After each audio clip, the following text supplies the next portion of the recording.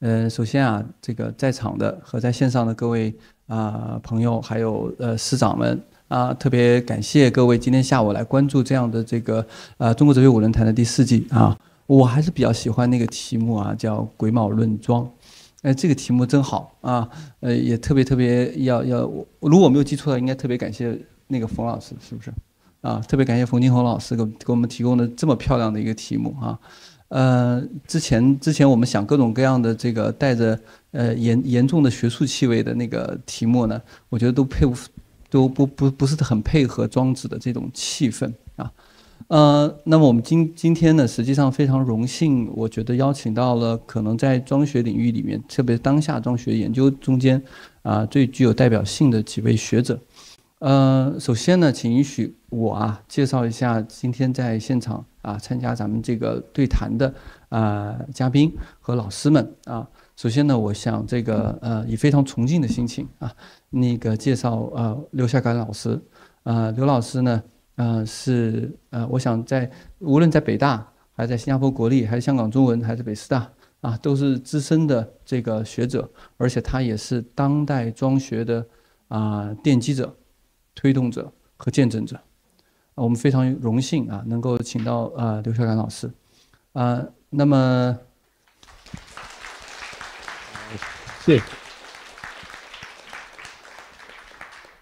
那么，呃，第二位呢，我想大家非常熟悉哈，这个，呃，就衣品和长相啊，具真化境的啊，杨丽华老师。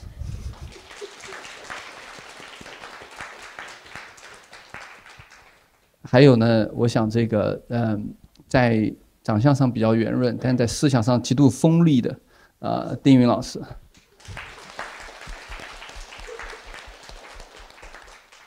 我们总以为这个啊佛教对中国的思想影响比较大，但是王松老师告诉我们，实际上庄子对佛教的思想影响也很大，所以我们特别期待王松老师能够给我们带来新的看法啊！欢迎王松老师。那么呢，这个最后这位这这个呃清华大学的陈必生教授呢，呃他他是一个人代表的一个半人啊，就是呃他自己啊。啊，我们知道这个呃，毕生老师在经学和在这个中国思想史，特别当代中国思想史领域也是有很多建树。那与此同时呢，啊，他也是代表他的老师啊，我们尊敬的这个呃陈少明教授啊，来一起来参加我们今天的讨论。啊，欢迎陈老师。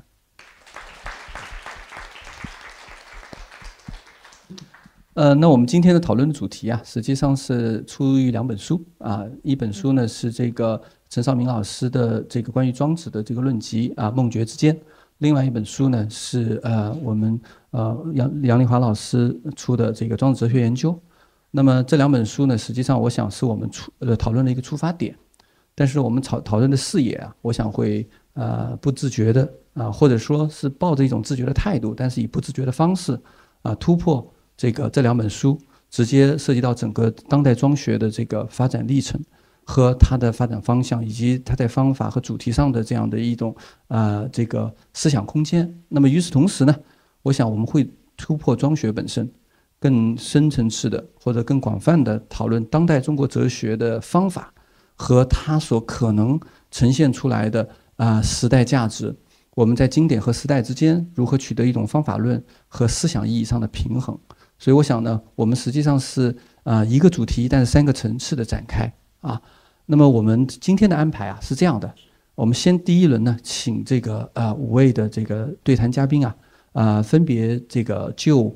当代装学和相关的问题呢啊做一个呃主题的引言。那么呃引言结束以后啊啊基本上就是啊，当然我也希望就是说呃各位老师在这个呃主题引言的时候就对其他老师提出问题啊。这样的话呢，就像我这样的人就可以省着就一直在听啊，这个完完美的实现台上围观，对吧？但是我觉得这件事情未必能做得到，所以呢，第二个阶段呢，可能就是啊，我们想有一个自由的讨论的过程啊。那么第三个阶段呢，就是呃，开放一两个问题给到大家，然后我们再做一个简单的总结啊。大概的这个形式呢就是这样啊。那么我想呢是这样，首先呢，我们请这个呃北京大学的杨丽华教授呢，啊，就他的书和他的讨论呢，做出一个这个啊主题的引言啊，大家欢迎。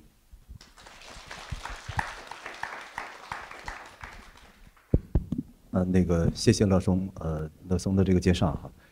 呃，我当然首先我，呃，再次感谢刘老师的支持啊，这个，这个，刘老师，嗯，周一的时候啊，被被我给这个发现刘老师要来北京啊，然后，呃，就有这么一个机会啊，能够，呃。亲自的啊，在因为我跟刘老师认识很多年了也啊，但是我们一直也没有表达过啊，这个或者是没有郑重表达过，呃，我们在学问上啊，就是特别在庄子研究上啊，我们受到刘老师的这个恩惠啊，这个恩惠是一个呃非常大的滋养，就是呃，就刚才乐松的那个总结里面讲说，刘老师啊，这个是当代庄学研究的啊。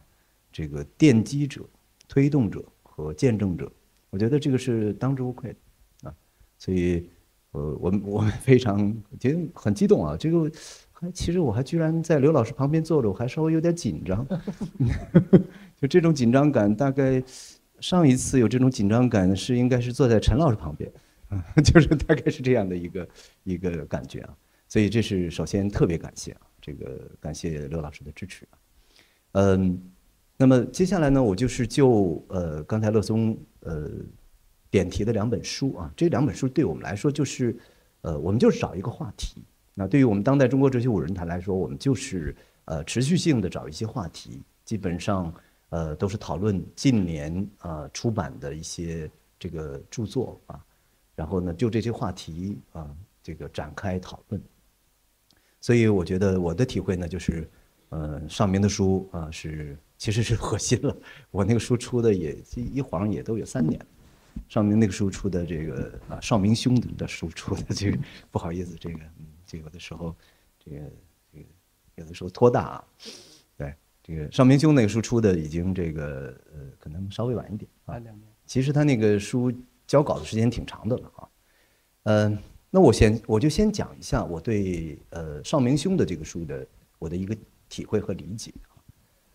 嗯，因为呃，尚明兄这个做庄子研究，在这个当代中国哲学界啊，是很早就很知名的。我我我这个声音没问题吧？现场没问题吧？因为我我我老怀疑这个这个这个音响好像有问题似的。嗯，他再早的一本书关于庄子的书啊，希望大家，我是强烈推荐大家去要去找来看，这个北大出版社出的，呃，这个《齐物论及其影响》。啊这个书我在很多场合都推荐啊，这个书就是，呃，是庄子研究里面非常深入的一本书。虽然这个书其实并不厚啊，呃，而实际上呢，这个这个尚明老师的这个书的或尚明兄这个书啊，它一直有一个特点：第一呢，就深入的地方非常深入，同时呢，他又带出一个非常格局大格局的一个视野。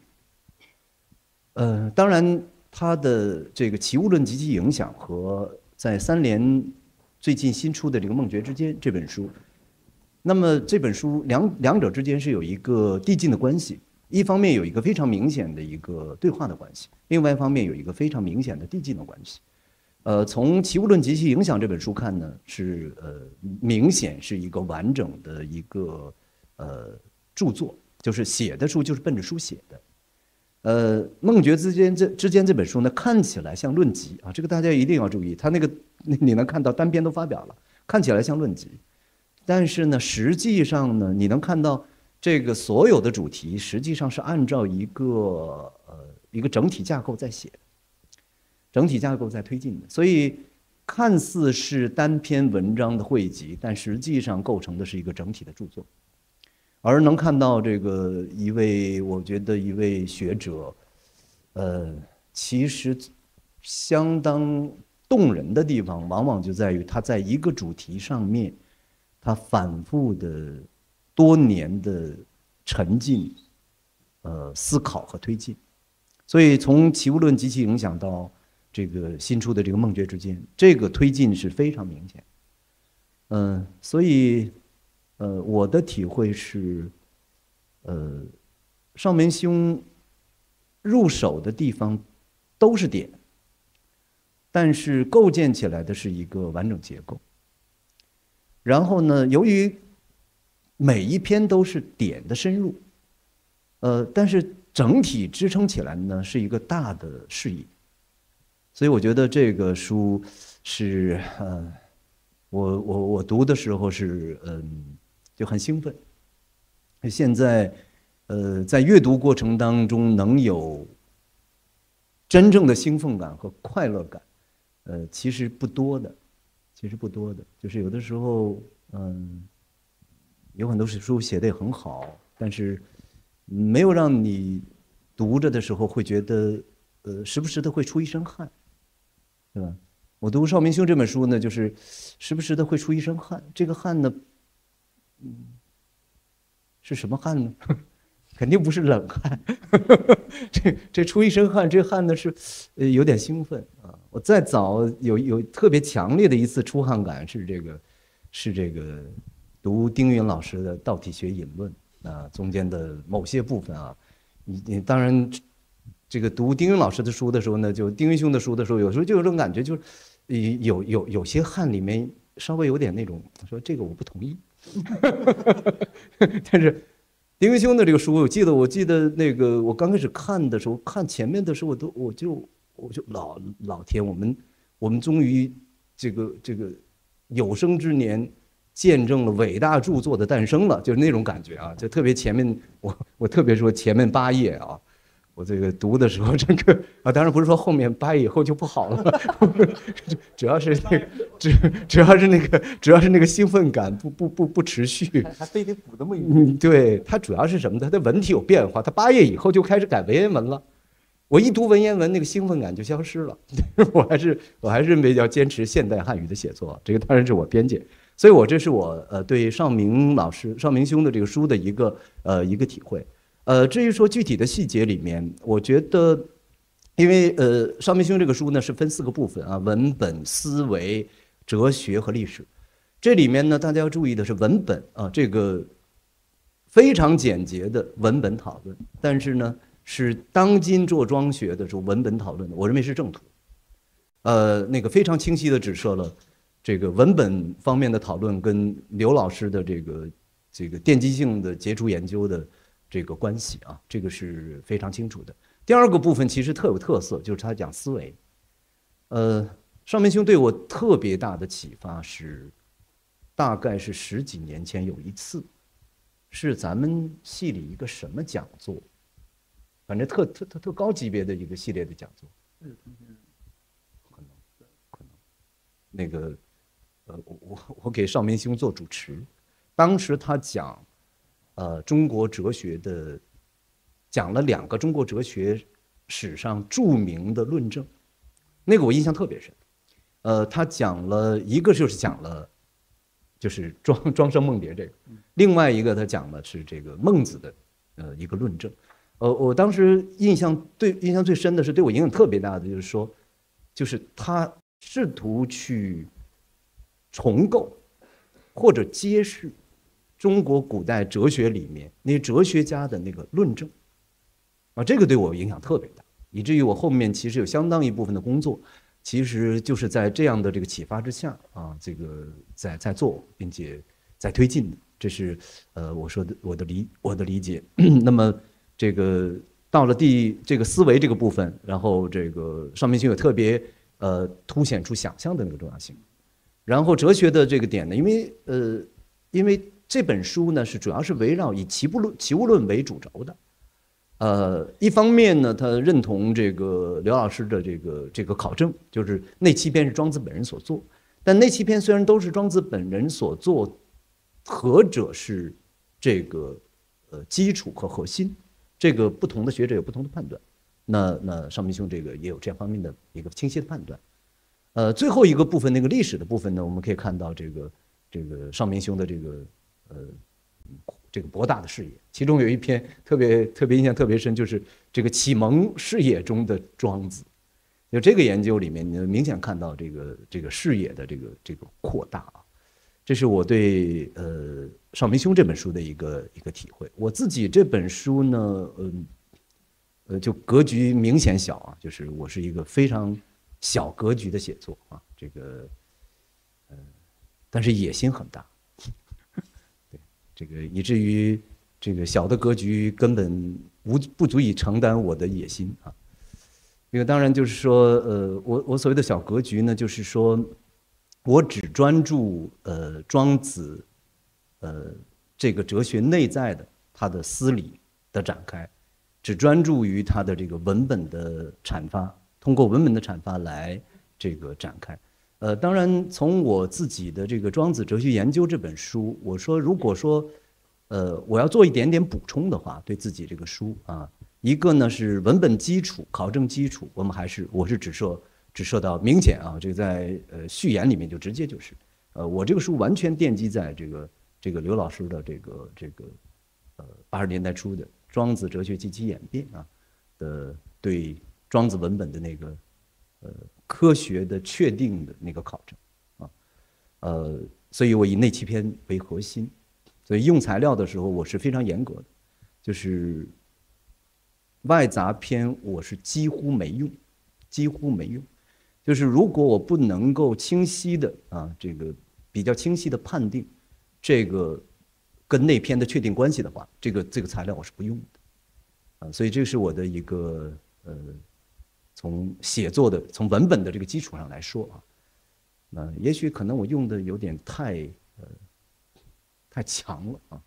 所以使得我这个呃我这个书里面显然对于嗯希望能够更多的看到。庄子那个丰富想象力的那个部分啊的同学来说，我这个书有点是有点这个好像太狭隘啊。这是我的这个第一个要强调的。第二个我要强调的就是我写作的方法，或者说我这个这个书的对我来说著述的体力。呃，对我来说，我觉得我写书一直有一个大的障碍啊，对我个人来说有大的障碍。就是我，呃，无论从什么方面都不希望重复。首先不希望重复的是这个著作的形态和著作的体力，就整体的这个架构的考虑。第二个不希望重复的是主题上不希望重复。第三个不希望重复的是，呃，思想的所达到的那个深度，我不希望重复。我总是希望。呃，每一次写作都变成，呃，个人的一次思想的一个一个磨练和提高的历程。那么对于我来说，那在这个写作过程当中，呃，我觉得首先一个极难克服的问题，就是我既不肯把它变成按照按照著书的方式写。其实这个方面，如果如果就是读书的过程当中，就是你在旁边记一点心得，记一点笔记，然后以以注释、集注或者说选注的方式写，这个呃从从写书的过程来说，可能是最简单的啊，这个这个不难，而且这个读书也比较愉快，呃，这个写作相对来说也不是一个特别痛苦的过程，呃，这个这个这种体力我把我我不能接受。另外一种体力我也不能接受，就不能完全接受，就是，呃，完全按照结构化的和这个体系化的方式来写，然后割裂文本的固有脉络，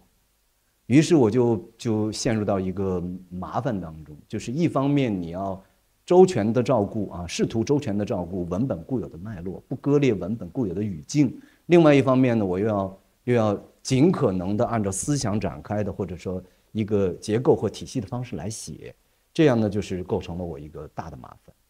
而且我还希望涉及到一些考证的内容。那么在这样的一个写作过程当中，这种这种考证类的内容，呃，就不大好以这个这个板着面孔的那个考证的形态来写，所以这个对我来说写的过程当中是一个非常大的一个考验，嗯。然后，嗯，所以就形成了这样一个形态，是以至于这个可能，对对对对，大部分，嗯，阅读者来说都不够友好，对吧？这个，这个主要是自己能力不够啊，就是实际上还是入的不深。嗯，因为入的不深，所以所以还是不能把这个用特特简单的话把这个道理说清楚啊。这个是这这我自己的问题，我需要再进一步的这个提高。呃，那么好在呢，这是庄子这个内七篇的这个完整性和完成度啊，这是我在呃刘老师的这个这个考证的基础之上，我进一步通过阅读、通过研究的体会。呃，我觉得。这个庄子那篇，呃，我有几点啊，就是这个稍微说一点细节。就庄子那篇，应该不是一次性完成的，在杂篇当中，我们可以看到同一个故事的不同的版本啊。这个非常著名的就是王两问影那个。那么同一个故事的不同的这个版本，应该呃应该是著述过程当当中的一些痕迹。所以我我是认为，当然我没做特别严严谨的这个考证，我是认为。庄子杂篇里面，像耕商，特别是我觉得耕桑主篇的，呃，从禹太定者发乎天光到调与九调与学究同于同也那一章，那个大段，那个大段，我觉得是应该是过渡性的写作，就是庄呃庄子残篇，我把它称为叫庄子残篇，或者庄子呃草稿，或者庄子稿本。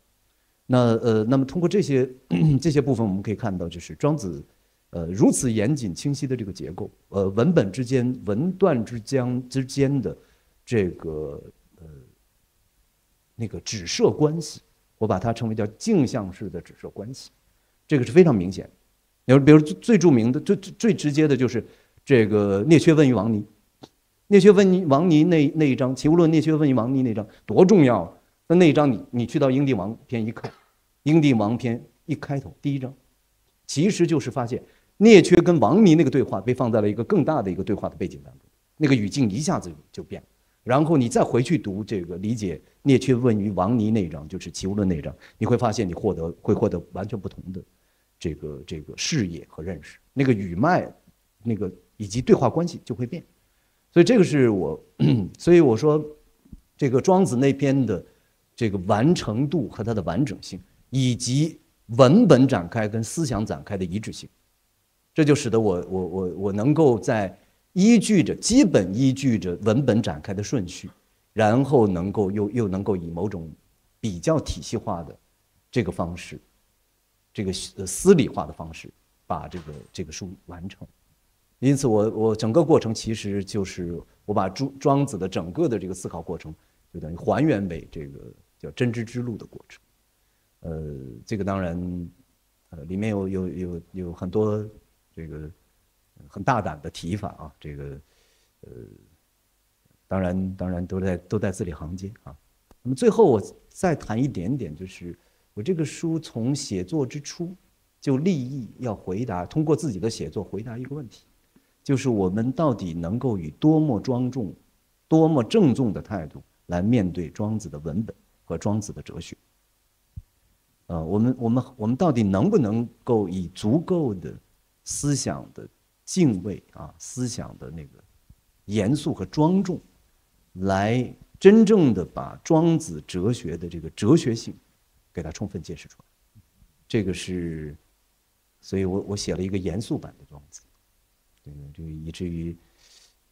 有有很多同学也会读完之后觉得不像自己阅读过的那个印象中的庄子，呃，这个大概会有这样啊。但是我这是自己给自己的这个一个一个任务吧。嗯，呃，我完成这个书的时候，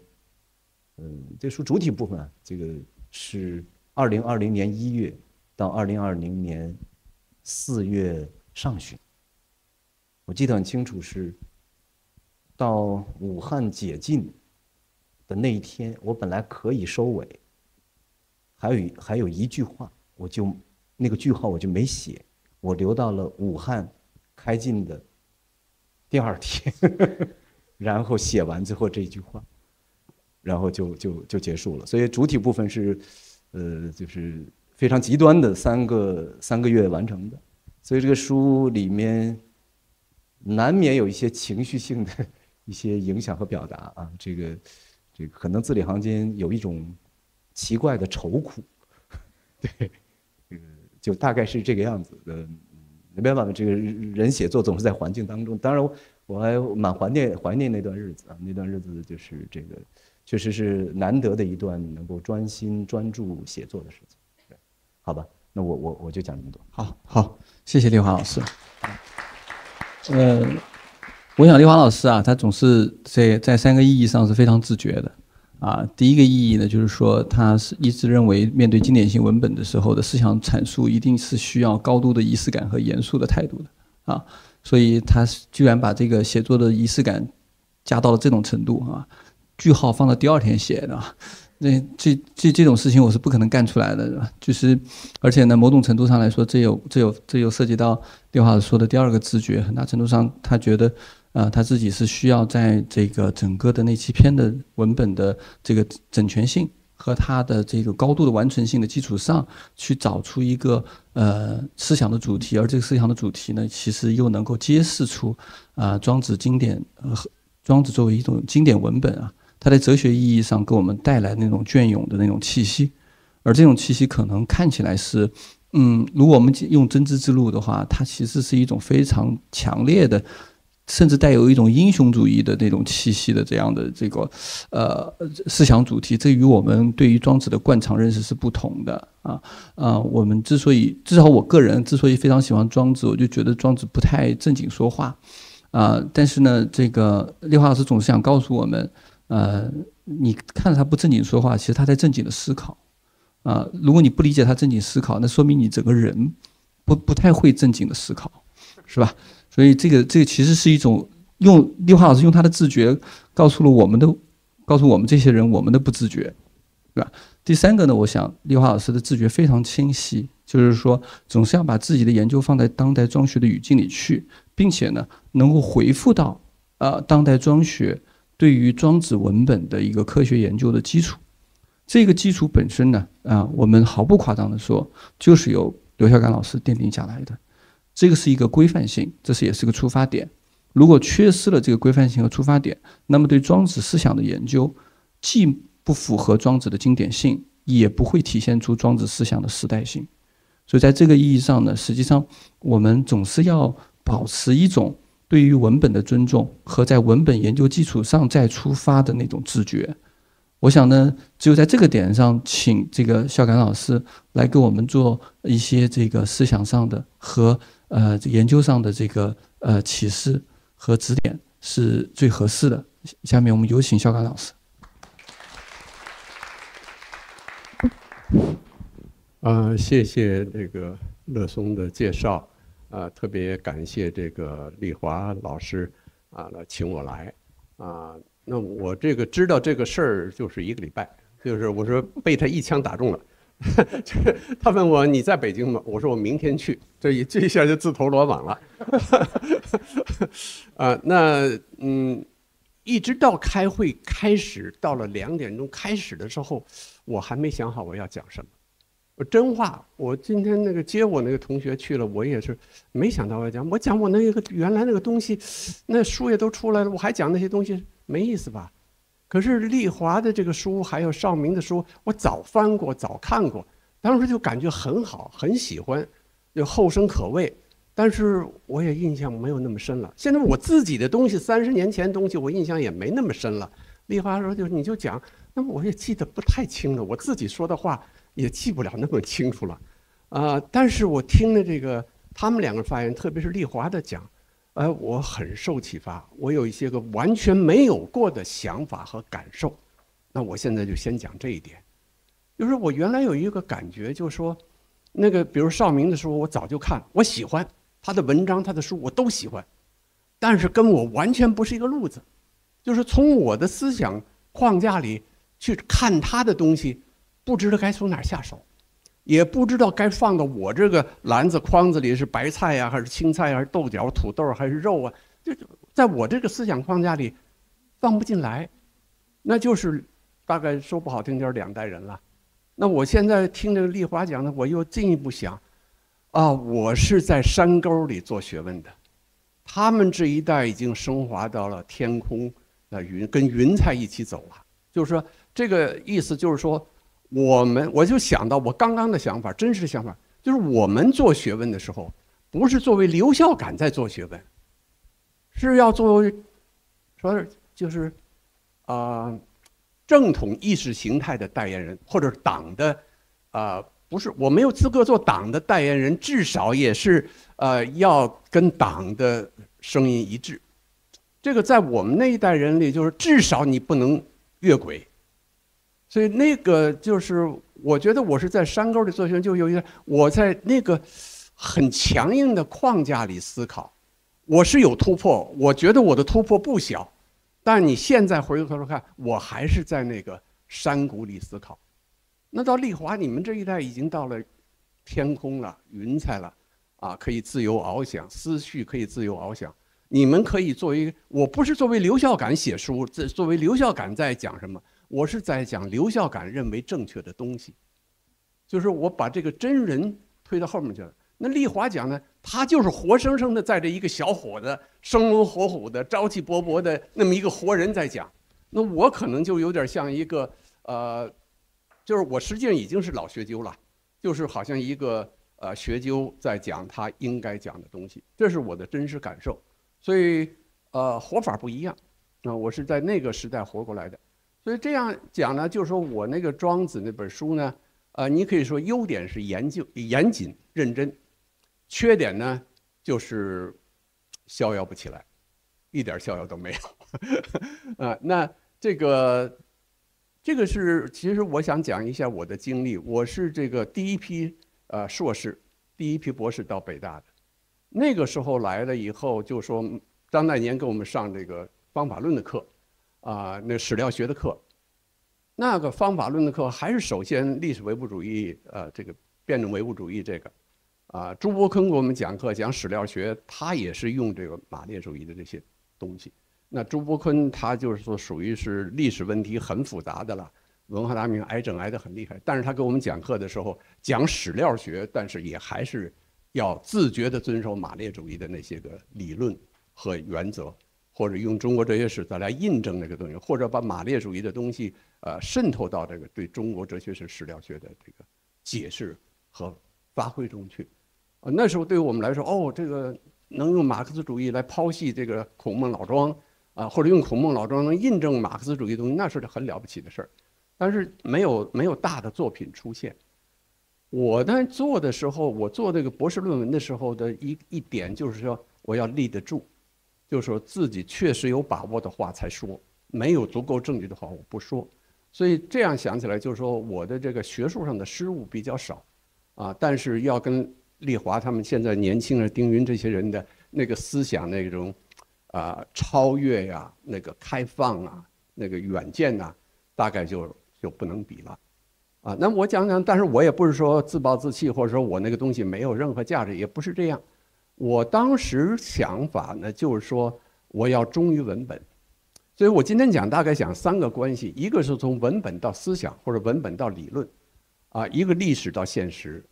啊。那么还有一个就是从安民到逍遥，啊，讲，但时间很短了，我就大概讲一下。这个文本对我来说是最重要的，因为我在文化大革命中啊，有幸当了三年工农兵学员。你们不太懂什么叫工农兵学员，就是那些大学没有正式招生之前，啊，就说后来说，哎呀，大学还是要文科还是要继续办，就开始招生。啊，我那一年是唯一的一年考试的一年，就是工农学院是不考试的，就双手老茧。这个老茧就是上大学的资本。那有一个电影啊，就就是说这个双手老茧就是上大学资本。那我那一年正好赶上考试，要不考试我也上不了。考试的话，就我们就我是老高三的嘛，所以就有机会上大学了。上了大学以后就开始那个批林批孔啊，教育革命啊，就是整天是这个呃政治，就是。意识形态的斗争比较多，后来我就跟那老师我说：“你们讲的课跟我高中学的差不太多呀。”这那个老师，你让我讲啥来？啊，这河南人，你让我讲啥来？啊，这这不是，反正现在就是一个鲁迅，一个样板戏，一个毛主席诗词，你整个现代文学就这点东西，你让我讲什么呢？那我也没话说了，反正我就是吃不饱。那老师说：“哎，刘小感，我知道你吃不饱，啊，其实文科学习就是要自己做研究。”他说：“我们在人大念书的时候，也就是要写论文。你选一个题目写论文，就是一个学习过程。我听了他的话呢，我也不能脱离政治啊。当时是平法批儒，啊，批水浒，是说水浒是投降主义，是要平水浒。那时候我想了，我也不能脱离政治啊，我就说好了，平水浒，我就写一篇关于水浒的文章。我就想着论李逵，大概写了万八千字。那个老师看了挺高兴啊，说这个挺好。我们当年在人大读研究生，也就这水平，啊，就是给我是很大的鼓励。就是说开始自己写论文，这个写论文呢，呃，不是写文章。写文章的话，你就有什么想法，你就想；写论文的话，那你就一定要有呃清晰的思路，有扎实的理论根据、文献根据，然后你有清晰的观点。那你的观点是通过这些材料来支持、来彰显。啊，那个那个从来没有发表，我也就就那篇文章早就忘了啊。但是那个老师的指导是对我有很有启发。到了北大以后呢，就是很快写硕士论文，很快写博士论文。那我现在想起来，跟那个丽华的比呢，我呢就是啊，装呃自己把自己套在一个学者应有的那个脸孔或者那个那个面具下来思考、来写作。丽华他是作为一个活生生的年轻人在思考、在写作，我们就是把自己套在那个。有一个契诃夫的小说叫《套中人》，啊，因为这个可能熟悉俄国文学的就是套中人，他就是每天生活就循规蹈矩，穿一样的衣服，走路的一个姿势，说话就就是把自己套在那个世俗的那个呃生活的那个规范里面去了。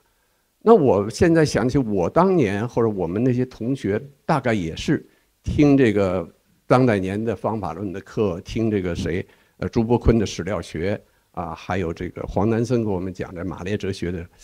那就是有一个，就是有那么一个框子，有一个套子，你就，你就要自觉的进去，不自觉的也也也，不自觉的也进去，也更应该自觉的进去。进去呢，写出来的文章呢，啊，那就是符合这个大方向啊，理论呐，说不会有偏差。那个训练对我来说也有好处，就是说好的一面是严谨，我不会胡说，啊，那么缺点呢，就是说啊不够开阔，啊，就是那时候我们看可看的书也少啊，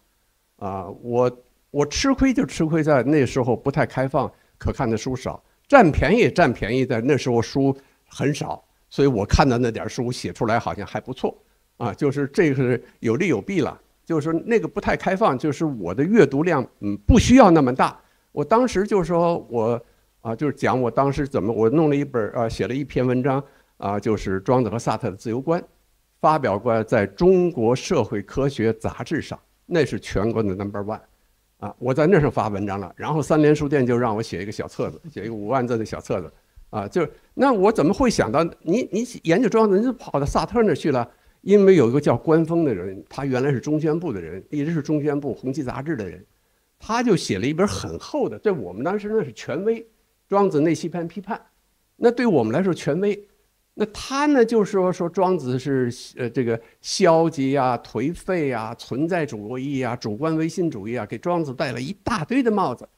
那他就说的庄子是存在主义，我很好奇。存在主义哪有存在主义？庄子怎么会有存在主义呢？一查庄子的存在主义，呃，存在主义这个词是德国和法国流行起来的，或者流流行到这也到了美国。但是我当时在的是当当代的西方哲学，那我就去看什么是存在主义。我一看，这个萨特的存在主义跟庄子是反着的呀。庄子要安命啊，萨特要逍遥要自在。萨特呢，真的是就是自己做自己。哦，存在决定本质。我当时不懂什么叫存在决定本质啊，原来是你的存在决定你是一个什么样的人，不是你自己是决定你要做什么样的人，而你的这个存在在社会中的存在，你的社会身份、你的社会经历、你的社会地位决定你是一个什么样的人。我当时就就是我自己决定我要当一个马列主义者呀。那萨特的讲法就是说，你在这个环境里，你就决定了你的想法，你要做一个什么样的人。所以说他是讲存在决定本质，啊，那跟主观唯心主义完全没有。你们的主观唯心主义，你这个在西方哲学上，主观唯心主义代表谁？那当时就把官就把这个谁啊？当时官方也就说把庄子做成了主观唯心主义的代表。我一看这个根本不对啊，庄子是安命啊，他要承认在现实世界中的无奈啊，他根本不是要用自己的主观意识来改造现实，或者坚持自己的主观意识，他没有。所以我我这讲的有点乱了，就是说，我就对当时主流的对庄子的研究就做了一个，啊，反正就是就就是算也算批评吧，反正我就重新讲我看到的庄子，我看到的庄子他就是一个安命，啊，安之若命，这是他的一个基本主张。但是安之若命之后，他要逍遥于四海之外，无稽之也。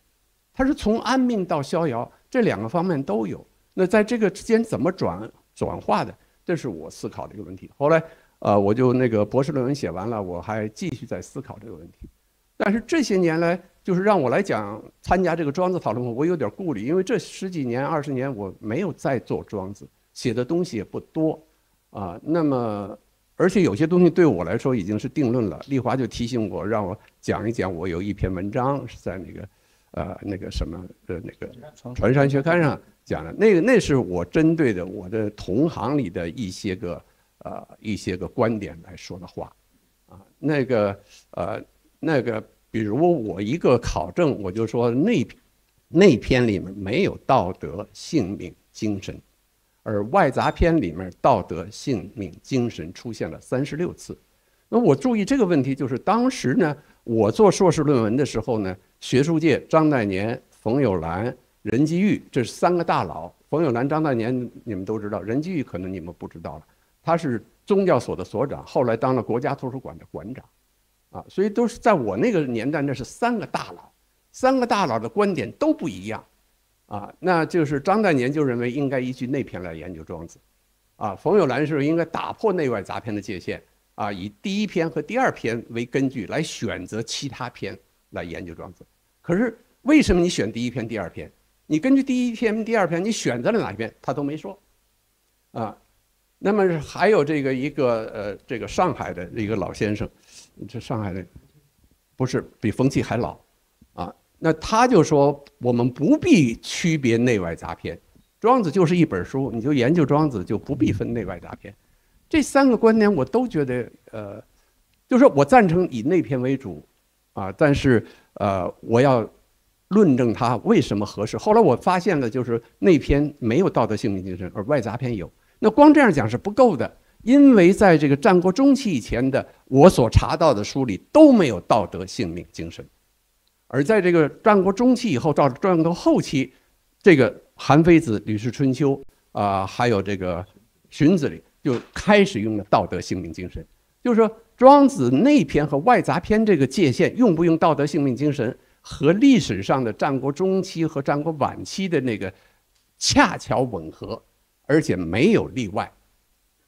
那现在就是说，有一个年轻人就说了：“你看刘孝感原来搭起来那么一个呃一个这个一个高楼，关于庄子研究高楼，现在塌了。怎么塌了呢？因为这个出土文献里有一个唐禹之道，其中用了一个性命。刘孝感说，战国中期以前没有道德性命精神，现在出了一个性命。”所以刘孝感这个建构整个塌了，我说不存在这个问题啊，没有这个问题，因为是我当时就觉得我没有发现任何反例，我觉得太奇怪了，太奇怪了，因为这个历史它是一个演化过程，在一个演化过程不可能清清楚楚的说昨天是这样，今天就是这样，就突然就变了，不应该是这样。那我当时看的那篇外杂篇是这样，而且战国中期以前是这样，战国中期后。怎么一个反例都没有啊？对不对？我说我们就北京人爱吃炸酱面，但是就有人不爱吃，对不对？那这是很正常的。所以本来这个年轻人啊，我们那个时代年轻人都不敢穿裙子，从某一天开始，年轻人喜欢穿裙子了。可是还是有不喜欢穿的，大家都穿裙子，就有人不喜欢穿；大家都不穿裙子，就有人喜欢穿布拉吉。这这个是。这是一个正式的历史。那么我看的那个怎么没有例外呢？所以有例外，我觉得很正常。可是我的一些年轻朋友就在，哎呀，这个有例外，那就是刘孝感这个理论全垮了。我觉得一点不奇怪呀。你说下雨没有？你下雨的标准是什么？就是每秒钟下的这个下那个呃呃雨滴呀，或者降水量达到多少算下雨？那掉了三五点算不算下雨？可是下雨之前总是有那么一个三五点雨滴的情况，你怎么能画得一清二楚呢？所以我当时做的庄子考证，后来做老子考证是没有例外，是我心里不踏实的地方，有例外是正常的。呃，这这个世界不是按照你刘孝感的意图来发展的嘛，对不对？所以你的想法你是看出来这个东西，但是也有我的同行就不理解了啊，就说刘孝感是讲的这个啊道德性命精神，这不对呀。过去也有讲道德的啊，后来这个有道德性命精神，还是也有很多人讲道德命精神分着讲，这个他就是对我作为对我的一种反驳，我觉得这个不沾边儿啊。我没说有了道德性命精神以后就人家都不用道。德命精神，我没有这样讲，我也没这个意思呀。他怎么就看到那儿去了，对不对？而且我也没有说这个这个道德性命精神是我看到的一个事实，在这个文本中，在这个文在庄子里，还有在这个呃其他文献里看到的一个事实，只是一个事实。我看到的事实，并不是说一个客观规律，我没有能力所做的客观。那有人就说，那你不对啊，这个啊。道德性命精神出现以后，还是有很多人用单独讲道、单独讲德、单独讲命，当然，这这这跟我这个论证毫无关系啊！就是我就不明白啊，这个为什么会有这样的这个反问？类似这样，就是说啊，我很高兴有人出来反驳一下，但是我发现这个反驳在这个逻辑上和证据上都是不足的。呃，这个因为时间关系，我不能再多讲了哈，时间也差不多了，呃。我刚才想讲三个题目的，最后我就画了跳过来吧，我讲安命和逍遥吧。那我现在那么多年过来，我讲庄子，我觉得还是一个安命，一个逍遥。安命在我当时讲的时候，在研究的时候，安命是属于消极的、悲观的、没落的想法。那我现在觉得安命是一个很正常的人生之道，啊，你你自觉的安命和不自觉的安命，你被迫安命。和你有意识的安命，这是不一样的。不过我讲的安命的命呢，不是这个命运的那个命，啊，不是这个阎王爷所决定的那个命运。我所讲的安命是无可奈何的现实。我想考北大，我考不进来，那我怎么着？一辈子就不活了？没必要吧？我喜欢一个女孩子，我就想跟她结婚，她就是不喜欢我，那怎么样？我还活不活呀？对不对？那你的命中的东西。就是有一种冥冥之中，你说被阎王爷决定的，还被物质规律决定的，还是被辩证法决定的，还是被存在主义决定的？你讲不清楚的。就算你说我相信存在主义决定的，也没有个公式啊，对不对？可是就是有一种东西你自己控制不了，你自己改变不了，或者暂时你没有办法改变它。你说我考不上北大，我十年以后考，五年以后考，那是有可能的。但是今年你考不上，就是考不上了。对不对？那你说这是命，这是很消极，但是它就是一种无可奈何的客观必然性。我就把这个命运看作一种客观必然性，就是说，命运这个词我们可以不用，但是呢，我们人生中离不开这个客观必然性。那你要跟客观必然性，呃，怎么呢？你完全放弃啊，也也不一定是好的，也不一定是错的，啊，就是为什么说呢？你无可奈何，你非要挣扎。北大为什么不录取我？就是北大有问题啊，北大招生制度有问题啊，北大招生办有问题啊，啊，这这个考试制度不公平啊。你这么想也不一定是毫无道理，但是没有用啊，对不对？我们还是要正视现实，还是要在现实中生活。我考不上北大，呃，我去考师大可以不可以？啊，我去考师专可以不可以？那我不想考，我直接工作可以不可以？啊，这个都是。就是一方面有这个命来决定你无可奈何，另外一方面你还是有你自主的空间，所以这是我讲的安命与逍遥。那我现在就觉得讲来讲去讲到我自己人生态度，就是有些事你就是安命，啊，但是在安命的基础上，你还可以逍遥。这个逍遥不逍逍遥是你的精神上的一种追求啊，一种精神状态，一种精神境界啊。你承认我丑，我找不着漂亮的女孩子。你很痛苦，别人要说我们丑，所以我们找不上好女孩子，这个是不公道的，或者是不善良的。那我们有理由生气。那你生完气怎么办呢？生完气，你你还得在你这个面容下生活，对不对？那怎么样让自己生活的愉快一点？不要因为他说我丑，或者那个女孩子嫌我丑，我这一辈子就抬不起头来，一辈子就就就不能好好做事了，那那就不对了。所以这个安命，就是说我按用我现在话，就是说。接受无可奈何的必然性，你叫不叫必然性没关系，你叫他命也可以，你接受这个，同时在这个基础上寻找最好的可能，做自己的啊最好的发挥呃和努力和争取，好，那个首首首首先还是要谢谢刘老师啊，我不知道各位听的时候的感觉怎么样，我觉得刘老师实际上做出了一个非常非常好的论证，而且这个论证本身是只有刘老师能做出来的，就是他用他自己的人生经历和这个人生经历中间的所有的学习经历和作为职业学者的经历来论证了庄学的发展过程，而且在某种意义上来说，他确立起的这种规范性，在很大程度上。呃，实际上是由于他的一种高度的自觉，就是从文本出发，然后让文本本身去说话。我我我认为，我们面对经典文本的时候，永远都是要么回回向经典所指向的那个精神场景和他们的精神经验；另外一方面呢，要么就是从经典文本出发，去契合我们当下的精神世界和我们对于这个文本的感受。所以，某种程度上来说，我觉得，呃，刘老师所所讨论的和。丽华老师刚才讲的其实是一体两面，两一个经一个经典文本之所以成其为经典文本，是一方面是有人能帮他立住，另外一方面是有人能够让它发光。我想在这两个意义上来说，实际上呃两代的庄学学者其实都是在前赴后继的，为这本文本的当代精神价值提供了一种很好的论证，并且与与此同时呢。它使这样的一个经典能够散发出一种属于经典特有的思想气质，所以我想从这个意义上来说，我们还能比还能想象一种比刘老师这样的学术人生更完更完美的人生吗？你想象不出来，对吗？虽然刘老师一直说他是一个按规范的装在套子里的人，嗯，但是我们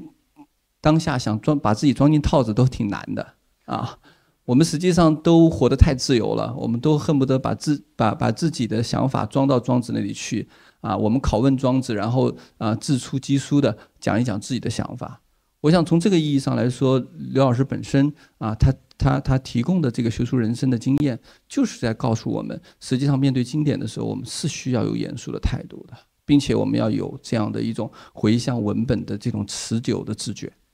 啊。那么我想在这个基础上呢，这个我我们之所以用真知和游观来作为这样的一个主论章的主题，很大程度上是要呃一方面是要强调这个立华老师所一直强调的那个真知之路，但另外一方面呢，我想很重要的是要去强调李少明老师所强调的做中国哲学的那个游观的态度，啊，从经验入手啊，从呃。以点状的方式连连接出来的，可能在每一个在一个冰面上面，我们在不同的点上打出一个，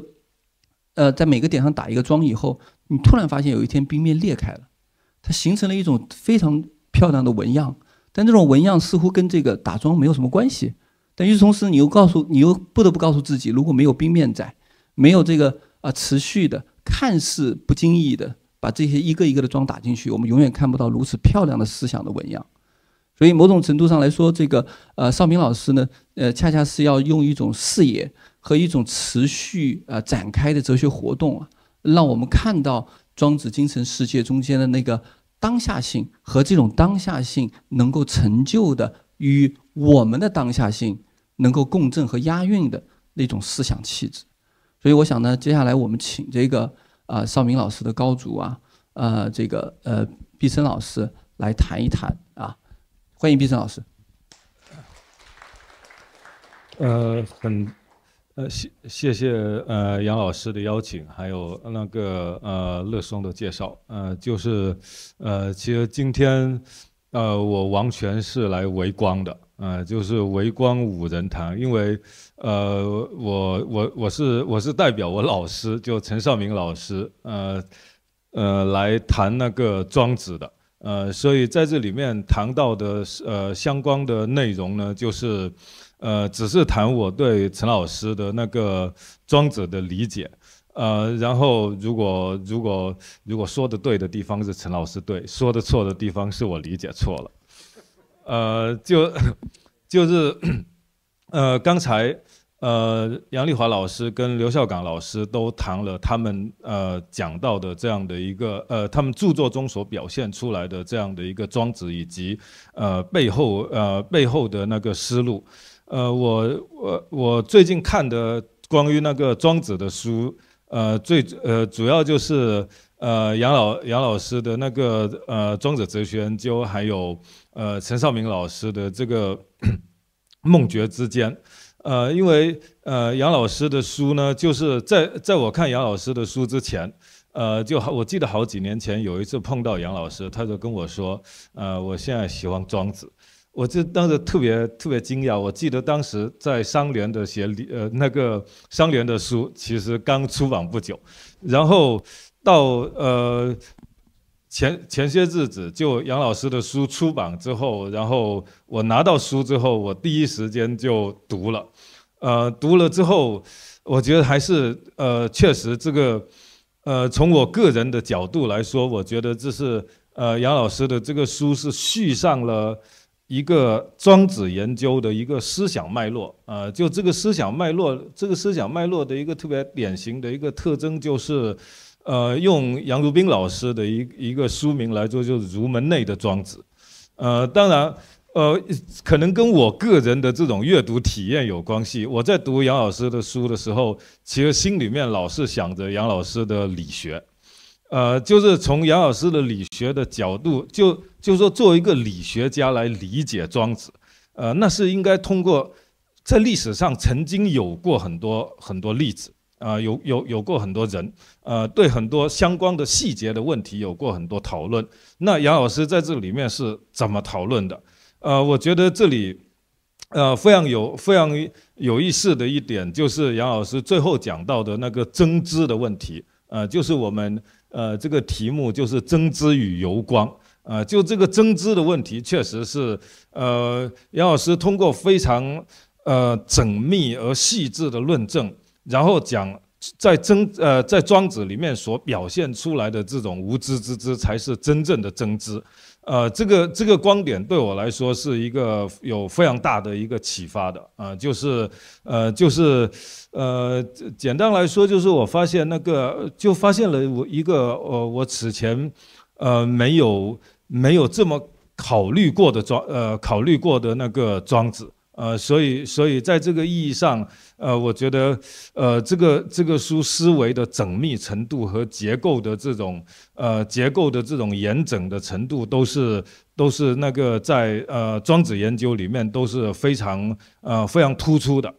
呃，然后呢，呃，陈少明老师讲的那个呃庄子，呃，陈老师对庄子的研究有有两本书，呃，刚才。呃，杨老师也讲到过了，呃，就一本就是讲《齐物论》，一本是这本《梦觉之间》，呃，然后呢，《齐物论及其影响》这本书呢是，呃，其其实是呃陈少明老师的那个呃博士论文修改之后出版的，呃，然后讲的是《齐物论》的解释史，然后呃《梦觉之间》呢是对庄子哲学的一个揭示。呃，这两本书恰好可以说在主题上，其实恰好构成了陈少明老师在中国学术呃中国哲学探索中的两个不同的呃方向，一个是经典与解释，呃，一个是做中国哲学。呃，就前面呃讲呃《齐物论》的这本书呢，其实就是讲有点像是解释史，而这种解释史在呃大概在二零零零年之后。呃呃解解释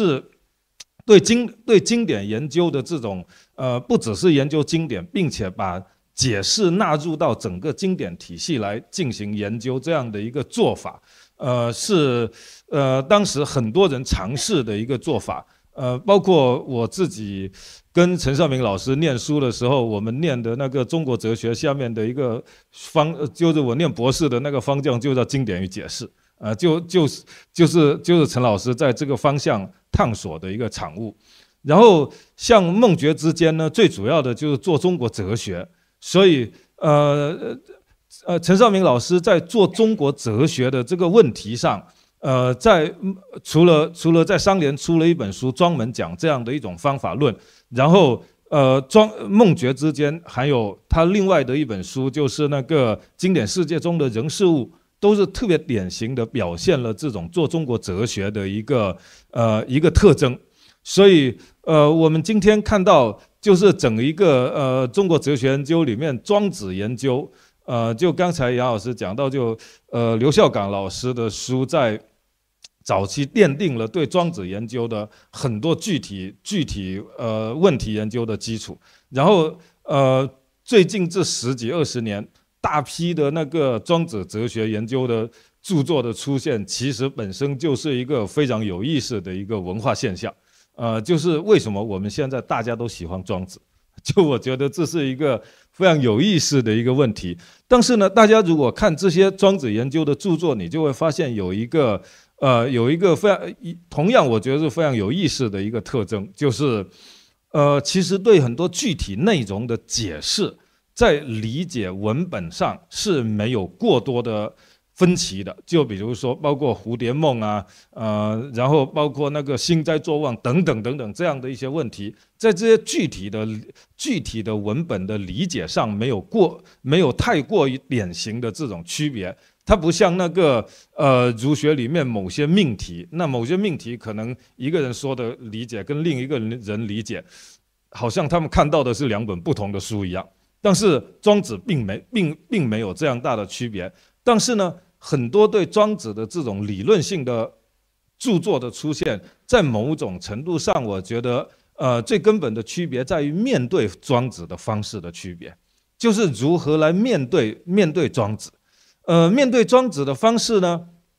在我们看到的呃这些方式里面，呃，这些著作里面有多种多样的方式。然后我我我接着刚才讲那个陈少明老师的这个梦觉之间。呃，梦觉之间面对庄子的方式呢，它有点像是，呃，通过庄子来理解，通通过庄子所庄，通过庄子本身来理解庄子的这样的一些所涉及到的这样的一些，包括寓言、观念、思想，呃，乃至于有一些是情节性的内容等等这样的一些具体的内容，呃，所以我们就可以看到。呃，这样的一种做法，其实跟陈少明老师所倡导的一个呃方法论有非常密切的关系。呃，这个方法论后来陈老师的一个概括就叫做中国哲学。呃，就做中国哲学这样的一个方法论呢，呃，它它的它的一个呃基础是什么呢？这个基础就是说，呃，从这样的一个方法论出发，我们可以看到。我们当我们今天面对所谓的中国哲学的时候，那呃，其实中国哲学它内在于经典之中。但是呢，这样的一些经典，我们平常的，如果是说从完全从西方哲学的角度来理解中国哲学的话，那就会发现说，西方哲学有很多非常重要的呃非常重要的概念、呃观念，或者说形而上学的论、形而上学的概括，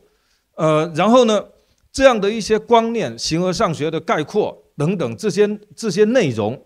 呃，如果是从这些观念出发来理解、理解、理解中国哲学的这些观念的话，那么它就会变成一个观念解释。就中中国哲学研究就主要还是以那个观念解释作为一个最核心的一个内容。然后，呃，陈少明老师在做中国哲学的这种方法论里面，呃，比较。比较希望能够倡导的一种做法，其实是说我们在理解这些观念的同时，在理解中国哲学观念的同时，要注意这些观念背后的经验。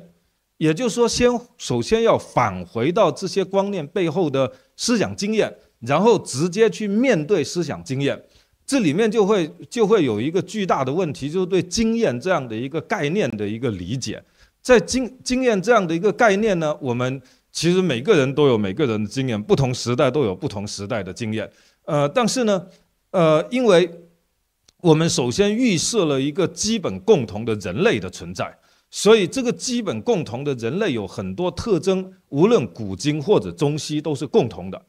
而在这样的一种共同性的基础之上，比如说有一些现象，呃，古代人跟我们，或者是西方人跟我们当代人是一样的，就比如说做梦，是吧？呃，或者说呃有一些有一些修养，就是跟身心有关的这样的一些修养等等，就古没有古今中西的区别。那呃，陈老师就会认为说，这样的一些经验本身正是勾连我们今天跟古代的这些古圣先贤的最重要的一个基础。呃，就是我们经验着一个共同的世界。呃，然后这样的一个在这样的一个基础之上，呃，经典文献它的意义就是。它是储存古典、储存古代的经验的最好、最重要的文本。就它储存的很多关于心理知识、智慧等等等等这样的一些呃这样的一些经验。那么从这样的一个角度出发的话，那呃今天的一个做中国哲学的这样的一种哲学分析，是面对这些经验的一个分析。当我们在面对这些经验的分析的时候，其实每一个每一种经每一种经典中的经验本身都指向指向我们呃当代生活。所以呃，如果像比如说呃陈老师在梦觉之间在研究那个梦的过程，呃，就涉及到比如像庄周梦蝶是一个特别著名的一个故事，因为我们今天。我们今天也也都做梦，是吧？每一个人基本上也也都也都也也都做梦。但是呢，呃，当我们对我们今天来说，梦主要只是一些，呃，主要只是一个人生命中或者说生活中的一些基本现象。但是对庄子来说，经过了蝴蝶梦的程序程序之后，梦变成了一个哲学命题，或者说庄子在讲梦的时候，其实是在讲哲学。所以在这个意义上。呃，陈老师在分析庄庄子的梦的时候，比如说他会具体的分析梦这种经验到底，呃，或者梦这种人类共通的经验，在庄子这里，或者说跟庄子同时代的人相比，它呈现出来的一个丰富的一个面相。呃，就比如说有人会把梦理解为是呃通灵的产物，呃，就像我有点像我们今天所说的托梦，是吧？然后有人会把梦理解为是一个修养的进程。呃，就比如像王福、张载他们，呃，那通过孔子孟周公可以来讲那个人生修养。但是庄子是如何把梦变成一个哲学的？其实像呃陈老师的分析，主要是在揭示这样的一个过程。而揭示这样的一个过程，其实是对庄子所讲到的这种经验进行一种哲学性的分析。这种哲学分这这种哲学性的分析，给予我们的一个呃，给予读者的。呃，其实主要就是如何来，一方面是如何来理解庄子，一方面是如何反观我们自身的这些经验，所以这个构成了呃陈老师讲中国哲学的一个非常重要的一个问题，呃，并且这里面呃做中国哲学的这种方法，在面对中国的一些文献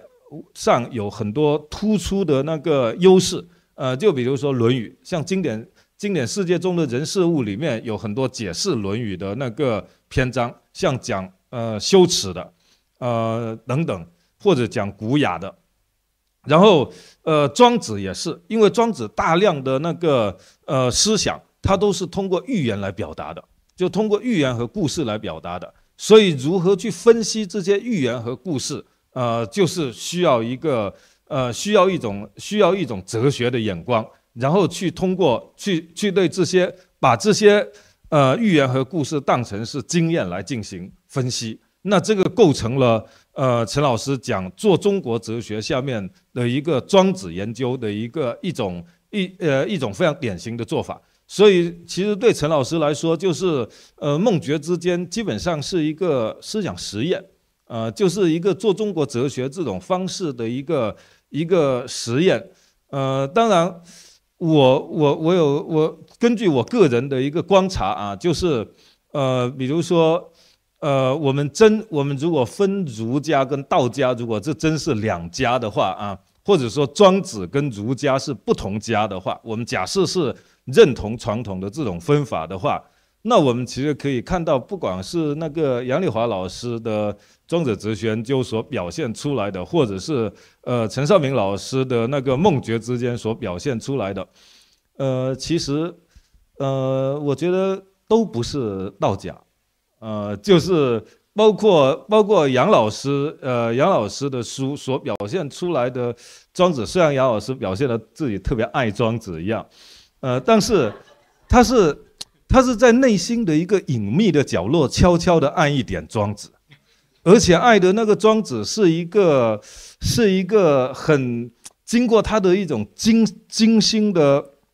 呃，精心的陈述、精心的建构之后，也不能够说这个建构不是说自个人的建构，而是说，呃，对庄子哲学的理解之后，然后把它放在了。呃，他的思想体系中的某一个角落，所以这个角落本身如何进行分析啊？就呃，以后如果比如说要研究，要要要研究杨丽华思想，这我觉得这可能是一个特别有争议的一个问题，因为比如说，我特别想问杨丽华老师的，就是说，呃，讲到的庄子所说的这个真知，这个这个真知到底是？比如说，这个真知到底是理解天理的一种方式呢，还是说这个真知跟天理有某种某种一致性？就是如果是跟这个理联系起来的话，因为把这些观念抽到最高的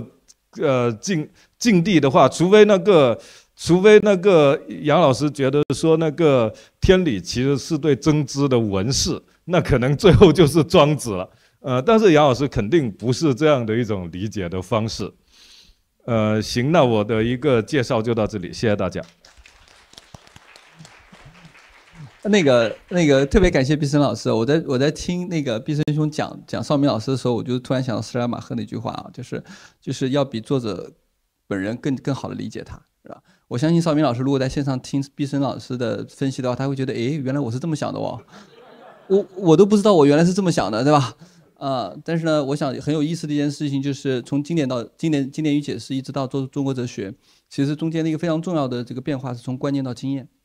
啊，从纯粹的概念到到经验，我们也一定要回到精神的现场，我们一定要回到那个我们可以共通的啊，大家都可以呃在日常生活中共在共知啊，并且啊共同分享的那个具体经验中间去，那些具体经验才真正是哲学的这个啊源头活水。呃，但是我想另一方面啊，毕生兄肯定是搞错了啦。他他报博士的时候可能没有认真看，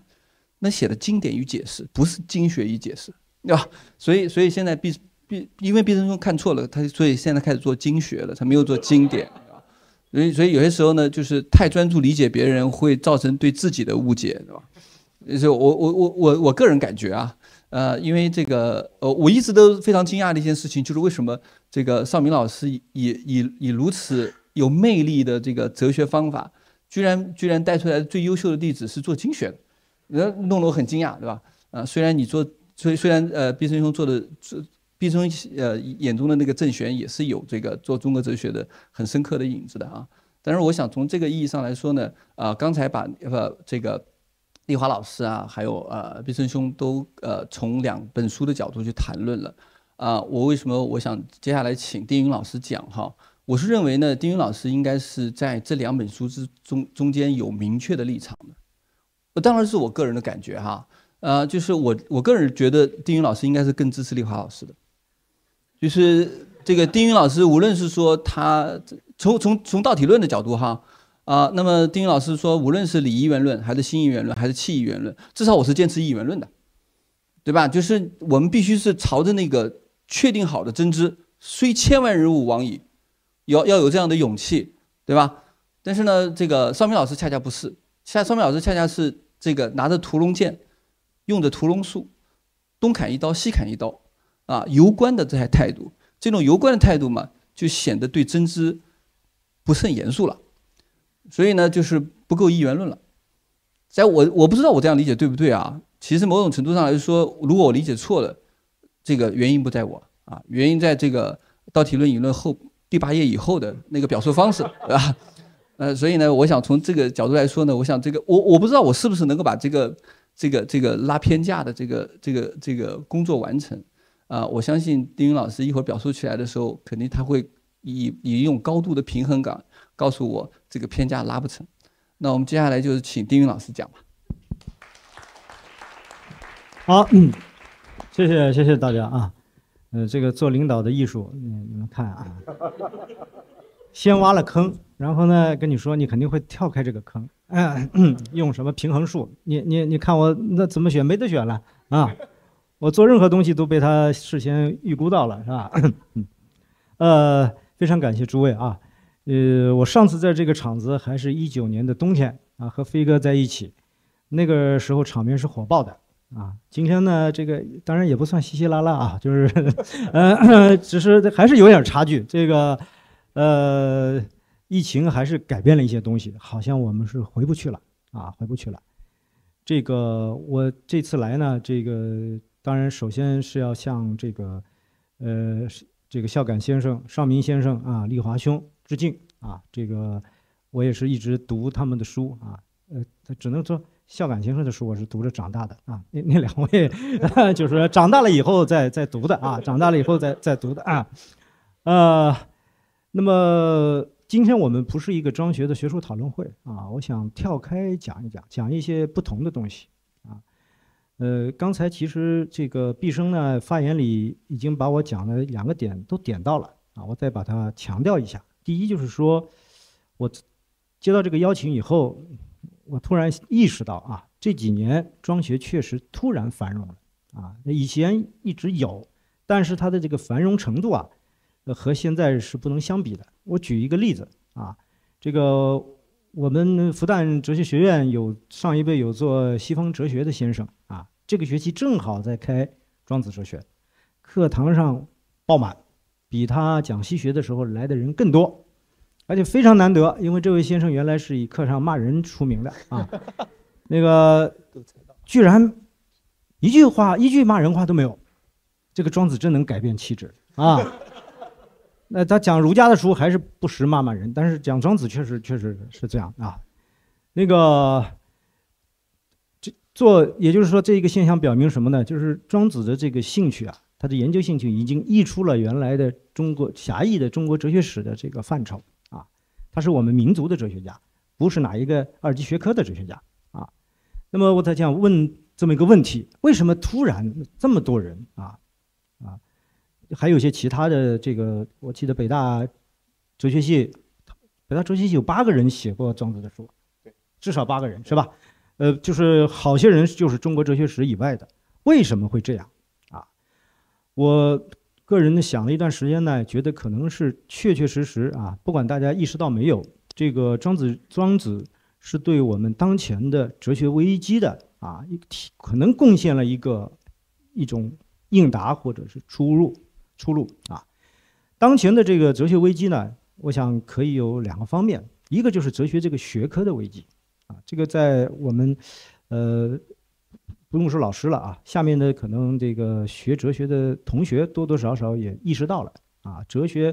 从来没有像现在这样没有共识过啊。前两天吴增定教授跟我说了个笑话，说这个他在课上经常说的啊，说这个物理学这个系里面，这个办公室对那个办公室虽然有不满，但不会否认那位做的也是物理学。但哲学系就会说，身为除了我，其他这些做的都不是哲学，已经已经到这个地步了啊！为什么会有这个危机啊？这个危机有个非常呃，它有很多的一个这个这个表征啊，这是这个学科本身的这个危机，还有一个就是哲学性的危机，就是哲学给全体的现代人的生活带来了巨大的改变，这个改变里面啊，隐含的很深的危机，就是让我们刚才说的这个情况。有很多可能性，几几年前还在，以后再也没有了。让诸位可以想一想，我们的选择的可能性会越来越少，越来越少。啊，比如说在今天，我们都都大家都知道啊，不管态度怎么样，AI 这个人工智能实际上对我们的生活造成了巨大的改变。但是人工智能实际上是和西方哲学密不可分的。人工智能这个两个字。啊，这个修饰人智能的实际上是 artificial，是记忆的。这个智能和记忆的都可以追溯到亚里士多德哲学。亚里士多德哲学对万有有一个划分，就是自然的和人工的，就是记忆的。这个智能可以追溯到他对灵魂的不同部分的划分，就是有一个部分叫努斯，经过拉丁文转手，其实就是现在的智能这个意思。也就是说，我们现在的这个看起来这个生活改变和哲学这个学科。没有直接的关系，实际上我们追溯起来啊，这是这个科学技术实际上是是是是希腊的这个哲学带来的。希腊的哲学被海德格尔称为哲学的第一开端啊，第一开端。那么我想讨论的第二个问题啊，就是或者说呃，请在座的朋友啊，包括下面的朋友一起来来看一下的，就是我们庄学研究有哪些不同的方式。刚才这个邵明啊，不 对不起，毕生概括邵明老师这个方式也概括的很好啊。你像我们这个现有的啊，就是在台上的啊，像上一辈孝感老师，这个是考证的方式啊。不管孝感老师多谦虚，这个是基础啊。呃，孝感老师对老子和庄子啊都做了非常实在、实实在在的考证。这个大部分这个结论是不能撼动的，是后面的研究是要用到的。也就是说，最玄虚的这个文本，他用最实在的方式去研究的啊。这这是这这一个方式。杨子呢，他的这个书啊，实际上是论证派啊，他。讲了很多这个，包括他他的其他的著作《一本与生生》更是这样。这一次呢，是把阐释和论证结合在一起。那邵明老师呢，是刚才这个呃，毕生说啊，是经验派或者体验派。但是邵明老师的立场其实是很复杂的。呃，各位刚才可能注意到了，这个丽华说最早在邵明那里学到的是论证。这个就是说明呢，邵明老师实际上是有一个，呃，有一个变化的。如果不是说进展的话啊，呃，也就是说，他的这个对古代经典的看法、对庄子的看法和对哲学的看法是有矛盾的，啊，我这儿举一些例子啊，把这本书带来就是找矛盾的啊。呃，当然，这个书呢是不同时期的论文集在一起的，有不一致呢，很正常。但问题就是，就像刚才石乐松还是丽华说的，它已经变成一个整体了。啊，丽华说它显得像是一本论文集，虽然它实际上也是论文集啊。这个，但是呢，它它有一个，它这样编在一起，它有一个统一的意图。这个邵明老师在序言里，序言是他最后写的啊，二二零年写的，他说哲学。或者说，形而上学脱离了经验可能性的范围，外在于人的经验、精神体验啊，这是这是这个他对哲学或者形而上学的一个批评。但是在后面呢，他马上又用了庄子哲学这样一些说法。当他批评这个笛卡尔是开始的这种用概念推导真理的方法之后，又说做中国哲学有两点、两个方法：第一，寻找论题；第二，提供新证。当然，诸位可以说。啊，毕生可以帮你老师辩护一下啊。那个提供新证不是指概念分析，是指给出经验的这个分析。但是呢，经验这个东西是非常含混的，就像具体性啊，具体这个概念可以讲的非常抽象。经验在我现在听起来，它就是一个概念。你告诉我怎么去面对经验，怎么面对其他人的经验，怎么面对古人的经验。刚才乐松说，这个毕生对邵明老师的解释。可能已经是邵明老师自己没有预料到的啊！你们不过就是差了一代人。那邵明老师对庄子的解释，庄子预料到没有？你凭什么说这个就是庄子的经验？你告诉我，打开别人的经验，理解别人的经验方法是什么？刚才乐松呢举了一个名字，施莱尔马赫啊，施莱尔马赫是专门研究这块的，这个方法叫解释学、释义学或者解释学或者诠释学啊，这是我们国家不同的译法。那么呢？广义的诠释学呢，就是现象学。现象学确确实实要面对经验，但是不管怎么讲，这个要强调经验的意志性和不可沟通性。这个意志性和不可沟通性，甚至在庄子这本书里就已经呈现了。啊，嗯，我现在讲一下我自己是怎么读庄子的，就是就是后面一个问题，就是以庄子的研究的不同的方式。我当然也没有资格说自己是庄子的研究者啊，我不是中国哲学史这个学科的，但是我确确实实是庄子的读者。以前每到天上海天热的时候，我受不了，年轻的时候也没空调没风扇，我就我就读庄子，靠读庄子来解暑。啊，呃，这个在我看起来呢，就庄子这个书啊，是他学派的作品。先秦有很多古籍。以某子命名的，实际上都是这个某子学派的作品。就好比今天哪个艺人的名字，不是不一定指他个人，是指工作室，是指团队。啊，如果这样去理解，我们谈庄子加个书名号的话，它有很多这个，呃，当然这个这个分歧差异、学术讨论的余地还在，但有很多东西我们可以看得高看一步，高看一步啊。就整个这个书，哪怕是我们可以认定是庄子本人写的，也就是他编这个书的他这个学派后学眼中这个学派学术思想的基础文献，其他的是进一步阐发的。但在这个书里面啊，我个人一直认为《天下篇》是也。啊，这个这个看法可能也，呃，这个也有很多人是这么看的啊，很重视《天下篇》。王传山甚至认为《天下篇》除了庄子，其他人写不出来，啊，在外杂篇里面是地位最高的。那么就是这个呢，我再想往下一说，《天下篇》里什么是演呢？是最后这个部分，讲惠子的这个部分是演。啊，这个。庄子在这个《徐无鬼》里说过这个话啊，这个当时有一个故事啊，诸位应该都知道啊，就是这个在在这个郢都，在楚国的首都杂耍的两个人，一个人鼻子上抹了一个白一脸白灰，还有一位老兄拿斧子看都不看，挥一下，这个白灰就没了，没有了，这鼻子毫发无伤啊。后来那位鼻子上抹灰的那那位过世了，他就那个舞斧子的，就是再也不玩这个了。他说：“这个玩不起来，因为这个智，我的人质的这个智啊，过世了，不在了。然后这段故事就说，惠子是庄子的智。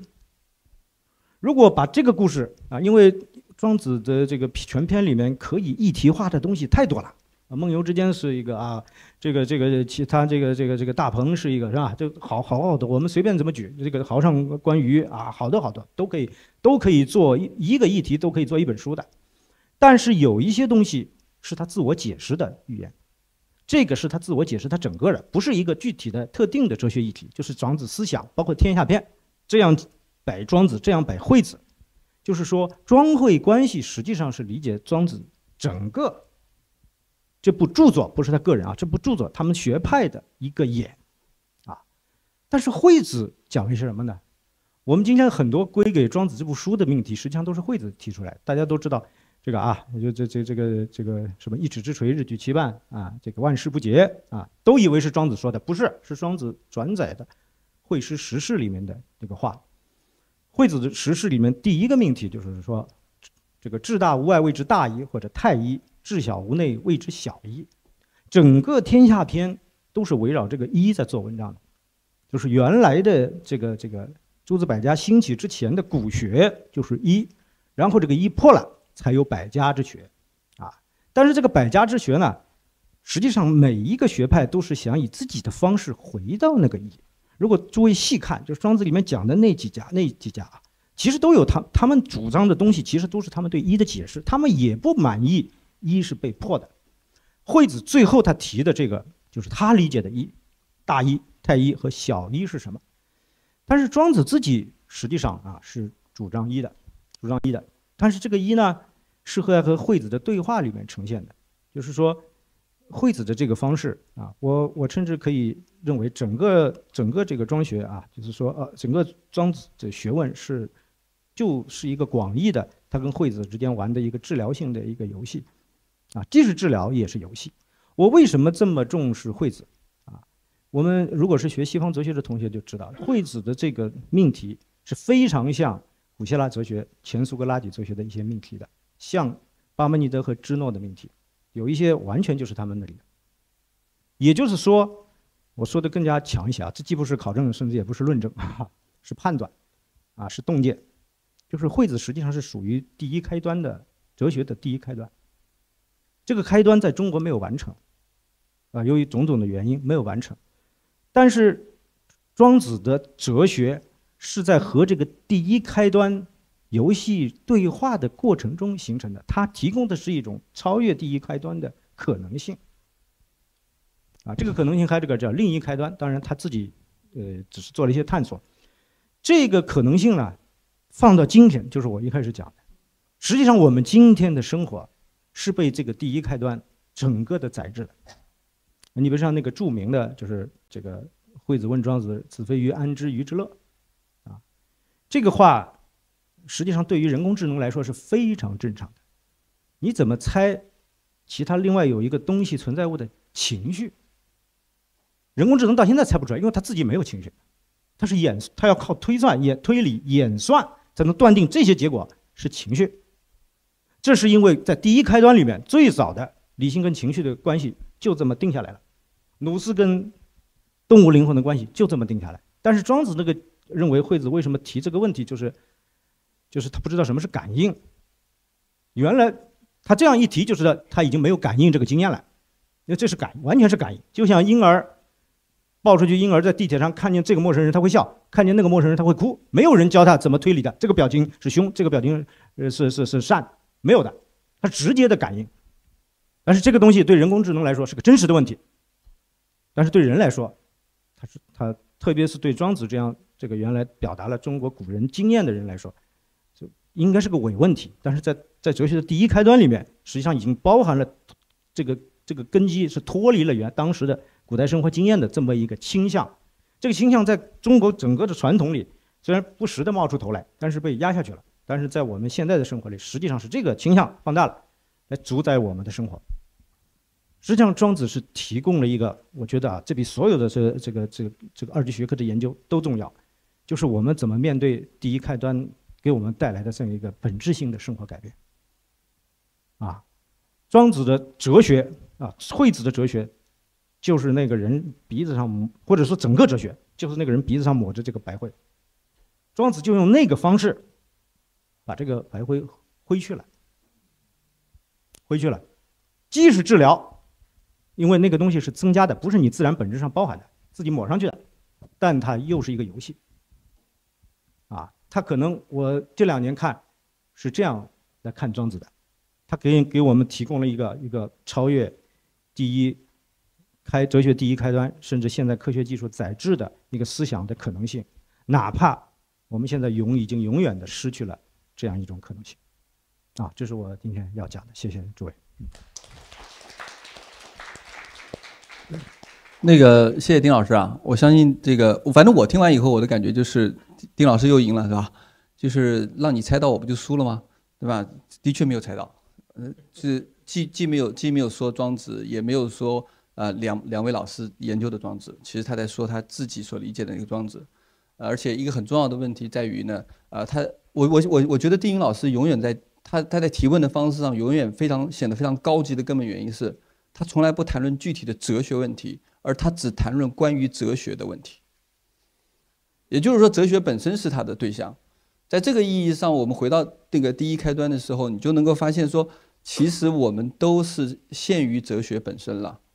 而哲学本身对于这个时代或者对于这个个体的那个价值反而被忽略掉了，所以那个人人民大学张志伟老师有一个非常这个著名的判断，他说可能哲学挺好的，哲学不太好。也就是说，我们我我们大家都都忙着在做具体的哲学，而忘记哲学本身面向这个时代的东西。而且我我相信那个呃，我相信这个丁云老师给我们提出了一个非常非常重要的，在当代可以不断提升我们思想的一个主题。这个主题是什么？就是精确性神话，在一定程度上让我们缺失了对于生活经验丰富性的那样的一种本能性的需要。其实我们对于生活经验的那种模糊性是要有本能性需要的，但是呢，精确性神话使得我们不得不对于所有的不精确的东西保持保持一种警惕，甚至有一种羞耻感。就是就是我我们如果活得不精确，我们活得不够精准的时候，我们会觉得，哎，这是我们的问题。但实际上，庄子告诉告。告诉你，所谓的精准，很重要的是不是那个精准本身，而是精准背后的那个质。而且这也是丁云老师特别特别可爱的地方。虽然他看起来呃思想非常非常的锋利啊，但是我觉得很有一件事很有意思的一件事情是，他可以成为非常非常多的学者的智。也就是说，他可以永远告诉我们第一开端在哪里啊。在这件事情上，其实吴飞老师已吴飞老师和丁云老师上次的对话已经完美的证证明了这件事情。对吧？所以，呃，今天吴丁云老师又完美的证明了他可以成为邵明老师和丽华老师的智，啊，所以如果我们缺失了丁云老师，这个世界会显得不可爱很多，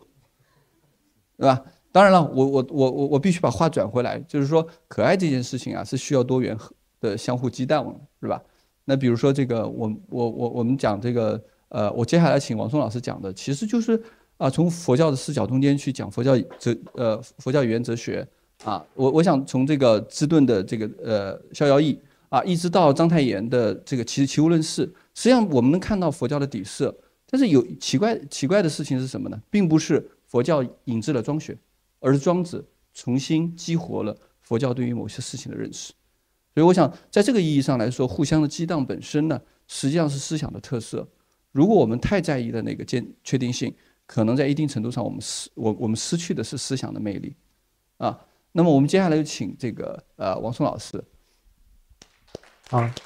哎，谢谢谢乐松兄啊，啊，当然还要那个感谢呃丽华星的这个盛情邀请啊后裔啊，就是因为我也不是研究庄子的专家啊，但是我的那个研究中啊，就是有一些内容是和庄子有关的啊。所以刚才那个乐松兄讲的那个啊，相互激荡的一个关系啊，对于我那个佛学研究啊，也有很大的帮助啊。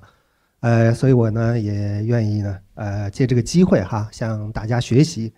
啊，再有当然也是借这个机会呢，向呃邵明老师和丽华老师啊表示敬意啊，因为他们的这个著作呀，以及他们的呃，不仅仅是限于庄子的这个著作啊，呃，刚才各位老师也提到了啊。对于我们呃做哲学专业的同仁们来说啊，都是呃非常好的啊榜样啊，所以我也向他们表示敬意啊。那么我我今天还是很认真的准备了啊，主要是 我还头一次这个，另外一个刚才各位讲的时候，我在用这个手机，不不是在看别的啊，我把它记下来啊，这样的话那个我还也好掌握时间啊。我先讲几点啊，就是呃呃这个看时间关系啊，有的可能不讲了啊。那第一个呢，当然就是说还是要比较一下这两本著作啊。那么我觉得他们有一点是共同的，就是呃，他们都是这个非常严肃的啊，呃，这个学术著作。这个严肃呢，呃，表现在一个就是他们对文本的这种解读啊，是非常的这个严谨周密的啊，这是我们治学的一个非常好的一个传统啊。第二一个呢，就是他们的这个思考是非常严肃的啊。就刚才我忘了哪位老师说了啊，就他们不是这个任意发挥的啊。虽然我要提到啊，其实，在他们的著作之中呢，都体现了他们自己的哲学立场，但是这种立场的这种展现啊，它不是一个任意的发挥啊，所以呢，那个就是用杨子的那话说啊，就是非沉潜深志啊，非端谨严肃不可解不可不可读啊，我觉得这个体现了这样的一个立呃一个基本的这个调性啊。第二一个呢，他们这个风格呀。啊，虽然说他们这个刚才说的是一致地方啊，不一致的地方呢，这个风格呃大不一致啊。这个邵明老师这个书啊，我感觉呢啊，他是在他这个书里啊，邀请庄子进行了一场哲学对话啊。就是刚才其实老师们也都提到了，他他是呃做中国哲学啊，通过和庄子的对话，探讨一些他。感兴趣的啊，关注的哲学问题啊，而杨子这个书啊，我我读的时候啊，有有有各种恍惚感啊，有的时候我感觉是这个呈现庄子面貌的杨子在那里讲杨子的哲学啊，有一点这个三三体的那个 那个那个游戏的那种那种画面感哈，呃，当然我这么说不是完全不是呃贬低丽华老师这个书啊，那绝对不是这个意思，呃，恰恰相反啊。就是我们知道啊，有一句话叫做“这个人云郭象著庄子啊”，其实是庄子著郭象啊。可能呢，因为丽华老师他呃研究郭象的哲学啊，所以他有着和郭象一样的哲学抱负啊。刚才他自己也承认了哈，他这个有野心的啊。所以我呢觉得这本书呢，也是作为今后研究庄子应该是一个必读的书。啊，应该是一个必读的书啊，希望它能够成为像郭象那样的经典啊，呃，这是我的一个感受。另外一个就是说不同呢，我们呃说一个比较细节的，就是解读方面，我觉得有很多的不同啊。当然，那个丽华老师这个书呢，它有好多啊对呃具体的概念，包括他们的转成契合啊，因为呃他反复强调就是庄子啊那一篇那七篇，他的一个。呃，完整性啊和这个完成度是吧？呃，所以呢，它的这个相就是对这个呃在呃文中出现的概念的这种相互的关联性啊、镜像性，它是有大量的这个分析的啊，有一些分析。呃，是有他个人的呃见解啊，比如说那个对实与比啊，那个对比的那个分析啊，非呃非彼无我，非我无所取啊。那么对这个我们都知道的庄子里边对道的那一段论述啊，呃，夫道有情有信啊，无形无为啊。那么他把他和呃刚才我说的那段话后面的那个啊，就是那个。呃，若有真宰那段是吧？而不得其正啊，呃，可行己性而不见其形，有情而无形啊。那么这里边的这个情、信、行啊，它都做了这个呃相互的勾连啊，然后最后得出它的这个呃道体啊，就真宰真呃真君道体的这个这个观点啊。我觉得这些解读都是很细致啊，但是呢，它也有有一些就是就是说。和邵明老师的那个不一样之处啊，比如说我注意到，就是关于对《逍遥论》的这个篇章结构的这个理解啊。那么，呃，邵明老师认为呢，呃，《逍遥游》的主题是相对分散的啊，结构有一些篇章结构也是随意的啊。而这个丽华老师却认为呢，它是非常严谨的啊，其实是知与用的一个。呃，这两个主题，这两个关键字的一个贯穿啊，那么这个都是一些解读方面的不同，因此它的结论当然是不同的了啊。其实这个丽华老师这个书的结论是非常的鲜明的啊，也就是刚才那个呃乐松兄说，呃，估计这个丁云老师是会呃支持他的观点，因为他们都在讲道体啊，都在讲道体，呃，当然都在讲道体。啊，因为丁韵老师有一篇文章，我是注意到了，就是呃讨论刘贤欣的啊，刘贤欣的那个呃，因为从庄子之中读到道体，这本身并不是一件新鲜事啊。我们坦率的讲，比如说就我知道的这个佛教这个系统的啊，很多的这个注释家呀，啊，他们都是这样去解释的，无论是憨山啊，包括受佛教影响的这个呃章太炎啊。呃，但是呢，这个论证的这个方式啊，以及他要引出的这个问题啊，引引出的这个问题，呃，是有呃立华兄的他的一个独特的思考的啊，独特的思考。当然，这个这个思考很丰富啊，这里不能时间关系不能多说。呃，但是我就觉得呢，就是呃，刚才丁云老师也提示了，那么这个就涉及到一个庄子哲学的一个性格是什么啊？到底是不是那个削去呃？鼻子上那个白粉的那个啊，那样一个游戏的以及这个破除的这样一个态度啊，我觉得这个丁云老师讲的这个很有意思，呃，我觉得可以进一步思考啊，如果一会儿有时间也可以讨论啊。那么第二个我就想呢，就是说关于我们这个主题啊，这个主题实际上刚才呃乐松老师已经说了啊，它实际上是对两本书的一个主题的一个概括啊，那么就真知之路和这个。有关的这个问题，我在想呢，就是说，呃，这两个问题，它和庄子哲学的，就刚才说庄子哲学的这个性格，它的这个本质到底是什么啊？我觉得是直接相关的啊。那么这个真知是什么啊？真知，我觉得是和真我、真人密切联系在一起的啊。这个我们都知道，有真人而后有真知啊。那么立华兄呢？啊，进一步的认为这是双向的啊，那么还有一个真知到真人的这样一个过程啊，所以他很有意思，他提出了一个闻道者和智德者的差异啊，我建议大家也可以看一下，我觉得非常有哲学的启发性啊。当然，传统来讲对真人的定义，我觉得没有什么太大的呃分歧啊，就是历代的这个著书家。比如说中泰就说啊，中泰说这个真人就是大宗师啊，大宗师就是真人。那么就本体而言呢，是道啊，在人就是真人啊。所以那个真人的特点就是我们熟悉那些泯物我呀、其生死啊、亦妖兽啊等等啊。那还有一个面相，我觉得是真我啊，真我，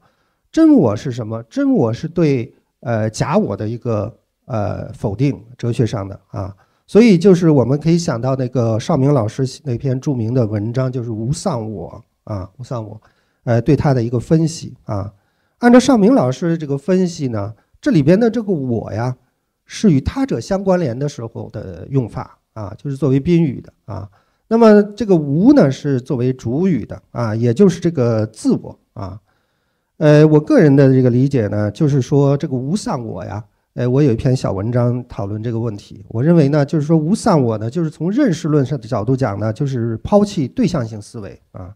在本体论上呢，就是树立独立的我啊。呃，因此啊，呃，什么是真知呢？呃，显而易见，真知当然是对这个我们一般的这个寻常之知的一个否定啊。按照立华兄的这个定义呢，他说真知就是不可言说的不知之知啊。呃，绝对代的根本知啊，呃，我们一般认为啊，真知提倡以道观之啊，所以真知用来真知描写的那些，比如说我们呃无知无为啊，这个是对自然的一那一种无意识、无目的性的一个模拟啊，是对经验思维啊、对象化思维的一个反对，它提倡的呢是一种整全性思维啊。因此啊，真知与真我、真人联系在一起。那么真人是什么呢？真人首先是个体的人，所以这就涉及到呃，我这边要提到，就是我对庄子的这个理解呢，还是觉得个体性原理啊，呃，个人本位啊，个体本位是庄子的一个很重要的一个特点啊，很重要一个特点。呃，因此啊。我们就是呃讲这个游的话啊，我为什么这么说呢？就是说我们把这个真知和这个游游观呢，这个游联系在一起。我们看到这个游啊，在空间上它它很有意思的啊，它实际上是跨越了啊这个有限和无限啊，尘世与无穷啊，呃方内与方外啊，所以这个刚才提到这个跟佛学的这个关系啊。呃，这个庄子的这个游在空间上的这个关系啊，恰好是跟这个佛教，比如说华严讲的这个法界的啊，入法界的这个是可以相互发明的啊。所以那个孙宝轩呃悼念那个呃谭嗣同的时候，谭嗣同因为大家知道他是宗奉华严的啊，他有一句诗就叫做“何期当日竹林游啊，呃坐看仙游法界高啊。”游法界，他用的就是这游法界，实际上就又有这个庄子之意，又有这个佛学之意啊。当然，其实法藏就有一本书叫做《游心法界观》啊，呃，其实就用的这个。我们再看那个梁启超评大同书啊，它有很多都是其实提到这个游啊。呃，另外这个游从状态上来讲呢。呃，可以从这个渐读和逍遥逍遥两个方面来说啊。当然，那个立华兄说这个渐读，他认为应该读作现读啊，是读体的一个呈现啊。我们一般呃理解呃常见的理解是渐读。这个渐读到底是什么呢？我觉得这个呃陈谷应老师他有一个说法啊，叫做隔离的智慧啊，隔离的智慧，也就是说从这个呃对现实的一种自。呃，自觉的抽离啊，我理解是这个意思，或者说挣脱思想的这桎梏啊。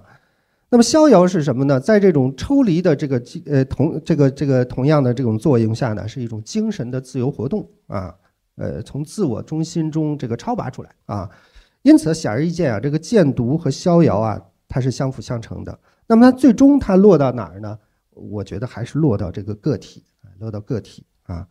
所以呢，这个个体。呃，是庄子哲学最鲜明的一个特征，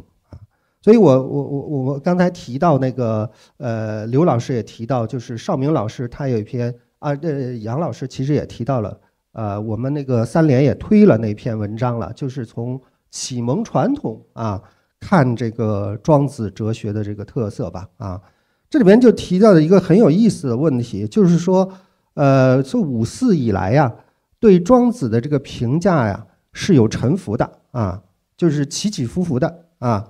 呃，一开始是给了很高的评价，后来从这个五四以后，呃，一段以后，一直到文革，到实实际上评价是很很差的啊。文革以后，后来又呃又又重新予以评价了。那么这里边一个很关键的问题啊，就是说，呃，他们都是用，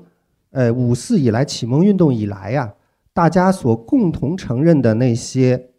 价值观啊，那些那些价值观的那个提炼的概念。去呃套光庄子哲学，那么他套的这个点在哪里呢？就在这个个人主义这个地方啊，就是说个体本位这个地方。比如说啊，当你想要高扬自由人权的时候，你就会认为庄子哲学是了不起的啊。那反过来，当你想要强调阶级和斗争的时候，你就会认为庄子哲学是避世的啊，是消极的啊。因此，刚才那个刘老师也提到那个官风，官风他那个呃，在陈老师那个文章里也也写了啊，就他官风在批判庄子的时候，他其实不是单纯批判庄子，或者他那对象不是庄子，他那个对象是呃这个资产阶级个人主义啊，这是他的原话，资产阶级个人主义啊，所以就给那个庄子啊。嗯，批判他们的人给他们套上了很多的这个标签啊，比如说相对主义啊、唯心主义啊，哎呃，这个资产阶级个人主义啊等等啊。当然，我们现在看呀，把庄子这个其是非啊、其物啊理解为这个相对主义啊，这个是一种庸俗的解释，这个肯定是成立不住的啊。那个庄子他反对的是一种极端的这个呃思想啊，极端的这个呃这个主张啊，就是或者说排斥打压。对手的这样的一个极端主张啊，但它不是这个价值上的这个，呃，这个所谓相对主义啊。那么它另外的一些这个标签，比如说为什么把它这个呃呃理解为这个唯心主义呢？呃，我觉得呢，它也有它它这个有它的历史的这个脉络啊。就我们如果呃去考察它的话啊，比如说它这个唯心主义，显然呢跟这个当时。提倡庄学，同时又提倡佛学的人啊，有很大的这个关系啊。因为中国的这个唯心主义啊，很大程度上是受到了佛学的影响啊。而近代很多人呢，他是同时这个读呃这个提倡庄学和佛学的啊。这个我们有时间可以再再再谈了啊。还有一个呢，就是他这个唯心主义啊，因为我们还是要注意到，呃，庄子哲学之中啊。他有这个非历史主义的倾向啊，所以我们呃过去常提呃荀子那个话啊，必于天而不知人，是吧？呃，这里边这个人指的是什么？当然不是那个个体的人啊，因为那是庄子强调的。这个人这句话还是有一定的道理，就是说，呃，庄子呃不强调的是那个作为社会整体一部分的人啊，或者说作为历史中运动的人类的整体。啊，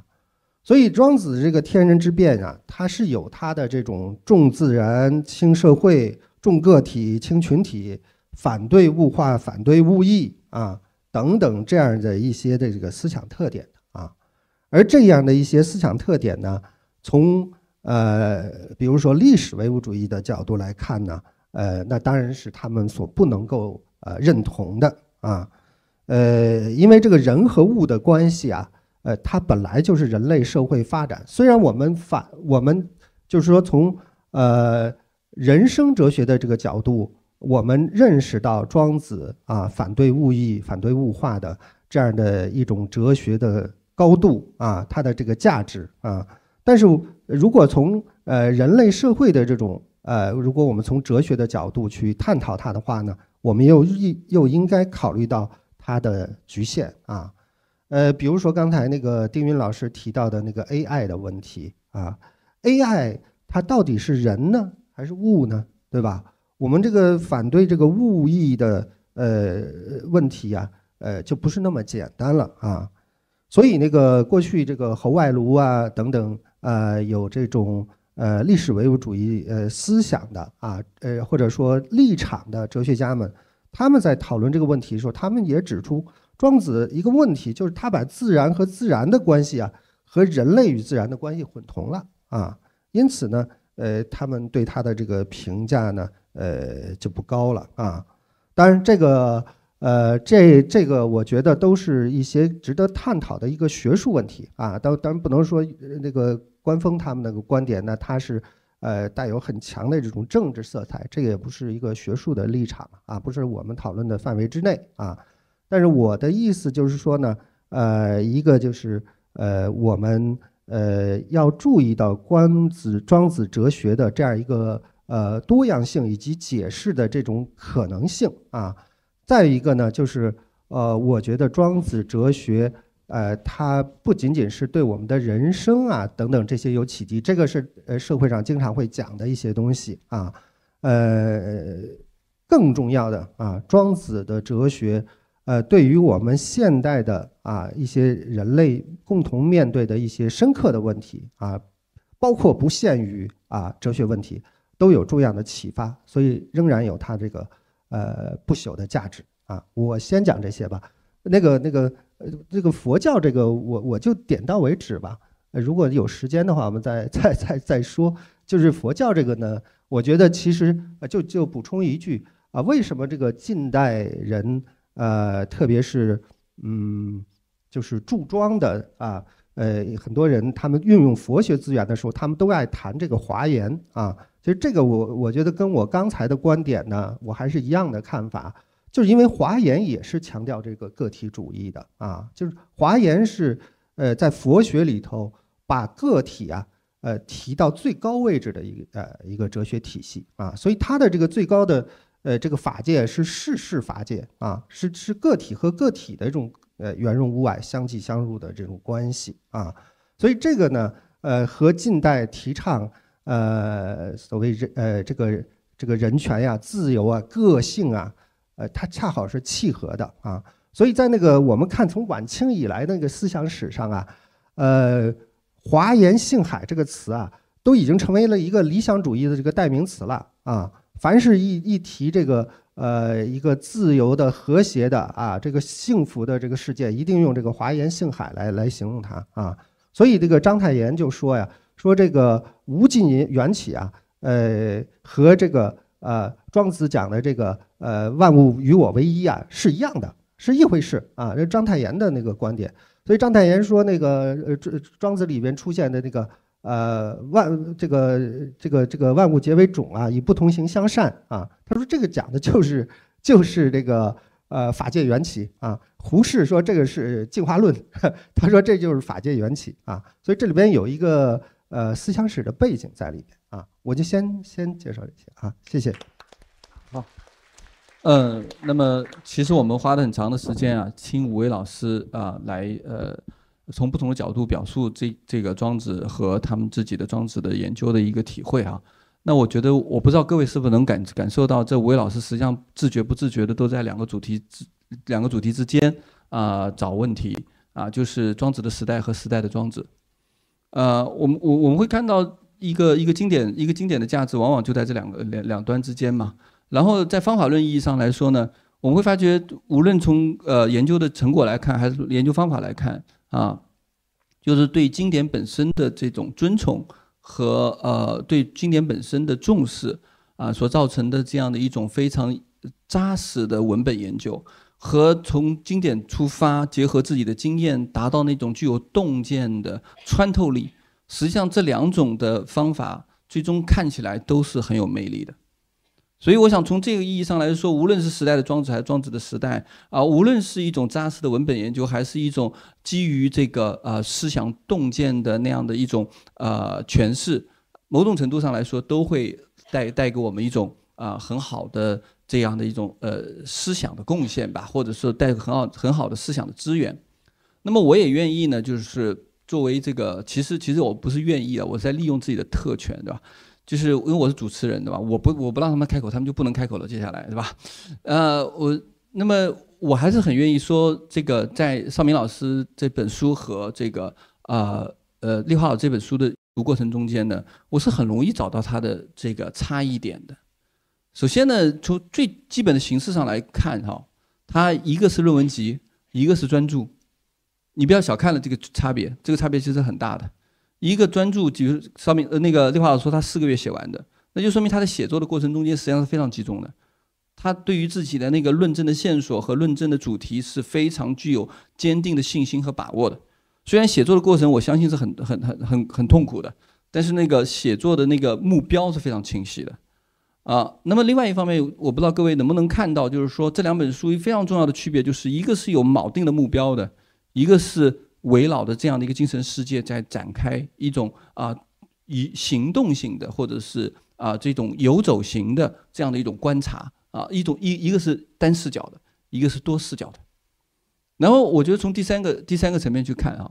我们会发现这个丽华老师一直一一定要找到那个铆定的那个点，无论是真宰也好，还是真知也好，那个真宰和真知实际上使得庄子变成了一个被固定在某一个位置上的这个这个思想家，而那个呃邵明老师一直是期待说庄子本身他是一个呃游侠。他在思想世界中间，他不会是有固定的位置的，而这个这样没有固定的位置，它所造造成的是它的魅力和我们这个这个瞻焉在前，呼焉在后的那样的一种啊，你觉得捉摸不定的那样的一种思想感受，这种这种啊瞻焉在前，呼焉在后的这种感觉啊，就是丁云老师刚才讲的，夏天很热怎么办？读庄子，因为它在动，你知道吗？有风，你知道吗？这个跟电风扇是一个原理啊。所以，所以你会看到这这三个非常简单的不同，对不对？但是你往深里看的时候，你会发现，其实他们在整个思思想的路径上是有三个很很简单的，在深层意义上的相通之处的。第一呢，他们首先都认为庄子是一个整全的思想世界。我我并不认为，呃，丽华老师说的庄子那七篇是一个精心的建构，说的是我们这个意义上的精心的建构。我们现在讲精心建构的时候，是讲精心的论证。从概念到命题到推理，所有的精心的论证，呃，立华老师强调的是，它有主线，他在用一种草蛇灰线的方法，以一种互相指涉的形态，最终形成了一个体系性的观念，并且让这个观念呈现出一种多面的样样态来。也就是说，它有一个整全性。而这个邵明老师自己就说，庄子是一个世界，庄子是是精神现场。那么在这个意义上来说，这个整全性是他们首先同同意的。第二个呢，我认为他们两个的这个写作都体现出了一种高度的浪漫主义的色彩。如果说这个对于对于邵明老师来说，什么是浪漫？就是基于理性的方法展开不固定的观察，让多视角的重叠呈现出一种思想景观来，这就是一种浪漫的气气氛或者浪漫的气息。而对于这个。丽华老师来说，他强调的是一种英雄式的浪漫主义，就是我知道你们不同意我，我知道我提出来的东西跟你们不一样，但是我告诉你，我才是真的。OK，我指向的那个东西才是对的。但是呢，你再往深层去看的时候，那个丽华老师说，真知是什么？真知是无知之知。无知之知的意思是什么呢？他之所以有他的肯定性，是建议在他的持续的否定性的基础上的。那么换而言之呢，我们通过有限的存在，能够克超克自己的有限性。那么从这个意义上来说，其实丽华老师和邵明老师会都坚持一点：不能让思想停下来，不能让反思停下来，不能让我们的精神生活被任何的想当然的规则和规范性。禁锢住，在这个意义上，其实他们的体现出来的都是在这个时代去做庄学的时候那个最需要的东西。我认为是勇气，就是你要你要知道我不不被他限制，但是呢，这种不被他限制恰恰来自于庄子本身的那个思想的激荡。但是我我们我们会觉得很有意思的一件事情就是说，如果因为因为我们一提到真知，一提到真宰，我们一提到这个呃所谓的这个。呃，那读体啊，限读啊，那我会觉得它就是固定的，它怎么能不是固定的呢？如果它不是固定的，那么我为什么叫它真载呢？为什么我们认为它是一个，它可以作为最后的根基呢？所以在这个意义上，我自己私下里跟邵明老师聊天的时候说，我说我说呃呃，以我在日常生活中间的无立场状态的话，我个人是认为我是比较倾向于邵明老师那个风格的，吧？就是就是就是被你抓到算我输，对吧？就是我我我我我肯定，你觉得我会在这里站住，我绝对不会站住的，我一定会换一个位置再来。但是呢，其实刘华老师一直告诉我们说，我们有一个可以锚定的点，那个锚定的点在一定程度上又被刘华老师自己用用一种非常精密的理理理论语言否定掉。就是这个锚定又不是固定的锚定哦。那么从这个意义上来说，我们每一个人在心里可能都会向丽华老师提的一个问题就是：您所谓的真知到底是什么？或者说您所谓的那个限读的那个读体到底是什么？我们我们如何去呃保证我们我们见到了真宰，但是我们又又不得不去承认这种以否定性为基础的肯定性？我想这是一个大家都会讨论的理论问题，而且这这个这个张力本身是所有的有限的思考者都必须面对的问题。啊，我想是不是请丽华老师先先来就这个问题谈一谈？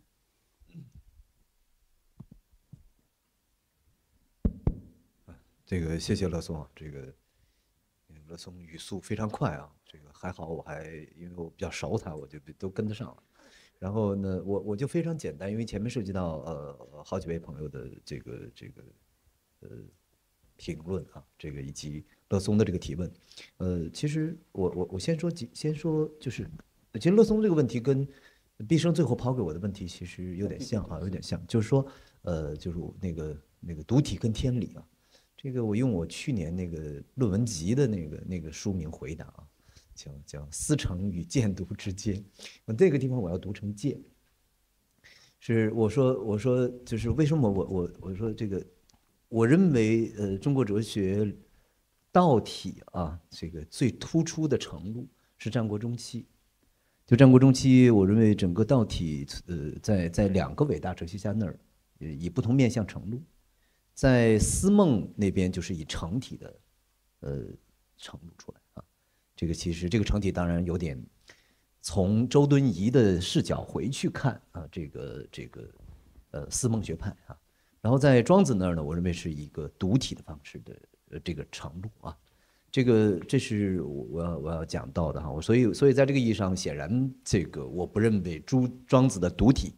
是是是这个天理的，是这个某某一个纹路或者天理的某一个纹路是独体的这个呃依依附于独体不不是的，也不是独体依附于这个离体或者成体，也不是成体依依附于这个离体，是独立的，是不同的侧面的这个揭示。呃，这是我的一个一个首先的一个体会哈，就是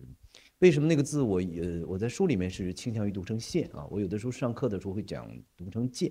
其实这个主客之间的这个不同呢，这个呃呈现出呃何者为主的问题啊，就是你个体暂是主体，你还是从属于那个根本的主体啊，那个绝对的主体，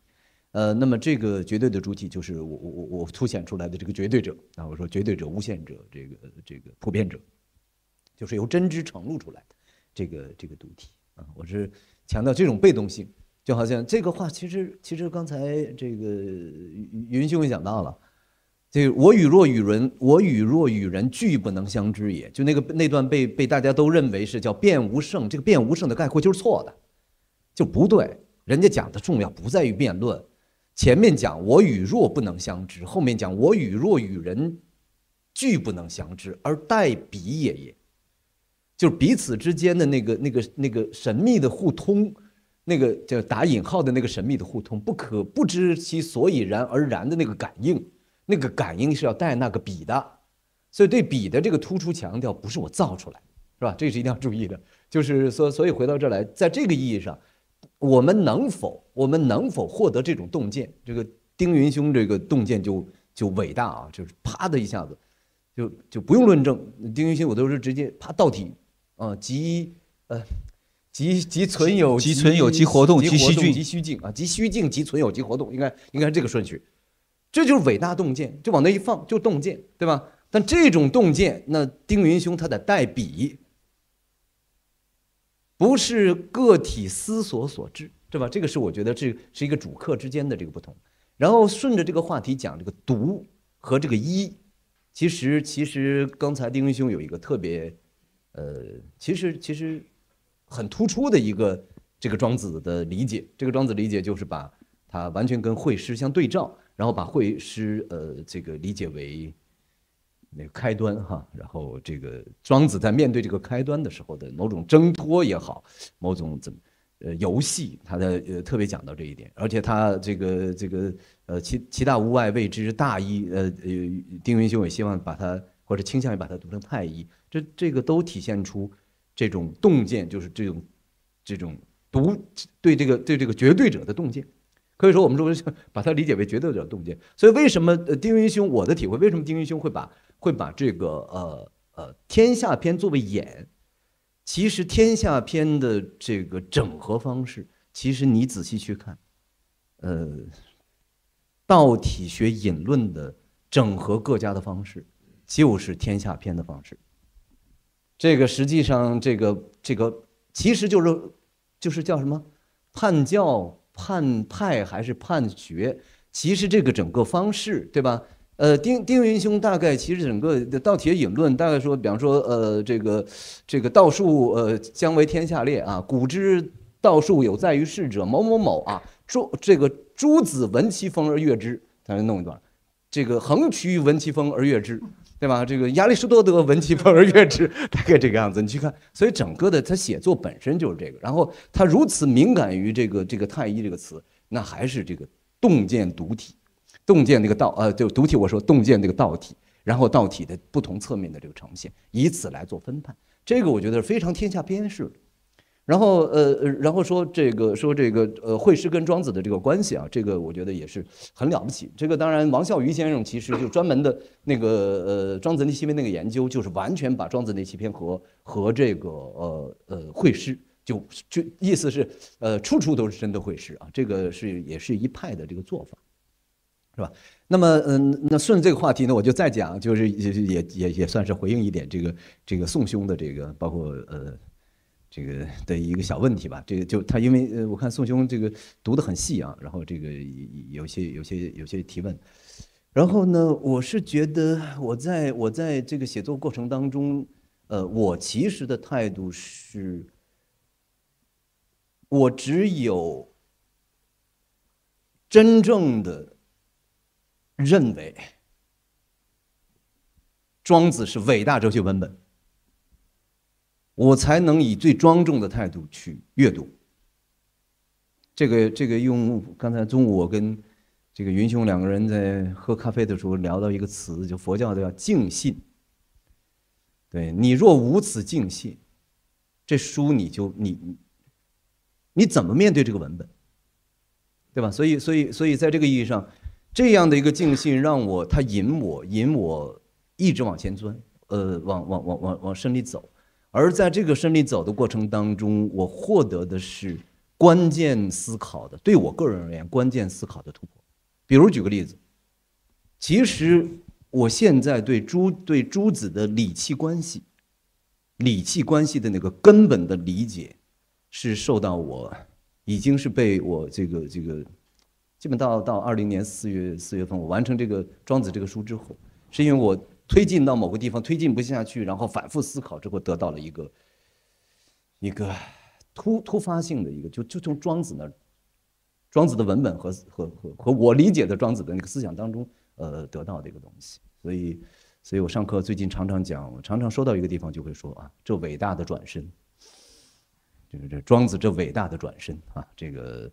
这个我是这种感慨哈，就是我说我自己这个这个读的这个态度。那么沿着这个呢，就最后一点，我再说一点点，就是两点吧，呃，尽量少说啊。一一一一点呢，就是知跟主的关系。这是，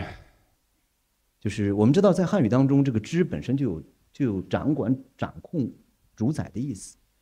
虽然你其实查字典的时候，你发现这个意思好像。很很弱，对吧？《说文》里面讲这个“知”的时候是讲这个，呃，讲讲这个，对，讲讲这个“知”的时候是是是叫什么？从从言吧，大概是大概这个样子。呃，但总体而言呢，在我们的汉语当中，“知”就有主的意思，知道就能主宰，知道就能掌控，知道就能掌控，全知意味着完全控制。所以在这个意义上，为什么每个人是？根本上，我的理解啊，这都是我我我，这是这有点自己发挥了。为什么每个人都是自由的？因为每个人都是不可能被别人完全知道的。由于你不可能被完全知道，所以没有人能够根本上控制和掌控你。所以在这个意义上，你是不得不自由的。所以我们我与若与人俱不能相知，这是多么伟大的一个一个洞见呀！在一个 P U，这叫什么叫 P PUA 如此盛行的时代，你要知道，你得知道你你本质上是不可能被人知道的。如果你什么都被人知道了，那你那你得活得多肤浅呀，对吧？所以这个这个是 我觉得这是这是我说这个这个知跟主的这样一个关系的理解。那么正是因为知跟主的这个关系的理解，那么在这个意义上，真知就意味着那个最高的主宰者，在非对象化的。无知之知或者不知之知之知当中成路，因为你是对象化的知，你的知就一定有一个内容，就是我有个对象，有个内容。但是当是不知之知最高的不知之知的时候，它没有一个对象，所以在这个意义上，那个那我我我把它理解为那个绝对者的那个程度，就是就限度，我把它理解这个。所以这是我要以以这个最后的一句话呢，是是顺着云兄那个那个对对对。庄子跟惠施之间关系的一个一个一个回应啊，小回应啊，就是我当然也非常同意啊，庄在呃庄子的这个生涯当中，惠子的重要性，包括他们俩之间的这个辩论关系啊的这个重要性。但实际上呢，这个就庄子那篇来说啊，我们会发现庄子跟惠子之间的辩论质量是很低的，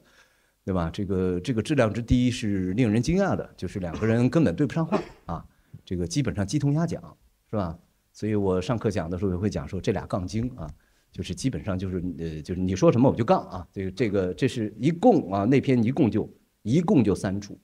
庄子跟惠施的这个辩论，还有一个特别重要的细节，就是庄子跟惠施第一场辩论的时候，第一组辩论《逍遥游》倒数第二章，庄子称惠子为夫子，第二第三场全称子，这个子可不是。子曰：“那个子，这个子就是儿。前面称夫子，就是您；后面称儿。所以呢，显然尊重程度是有变化的。这个，我觉得你们细读那篇，你会发现庄子真的是一丝不苟，没有一处称谓是乱的，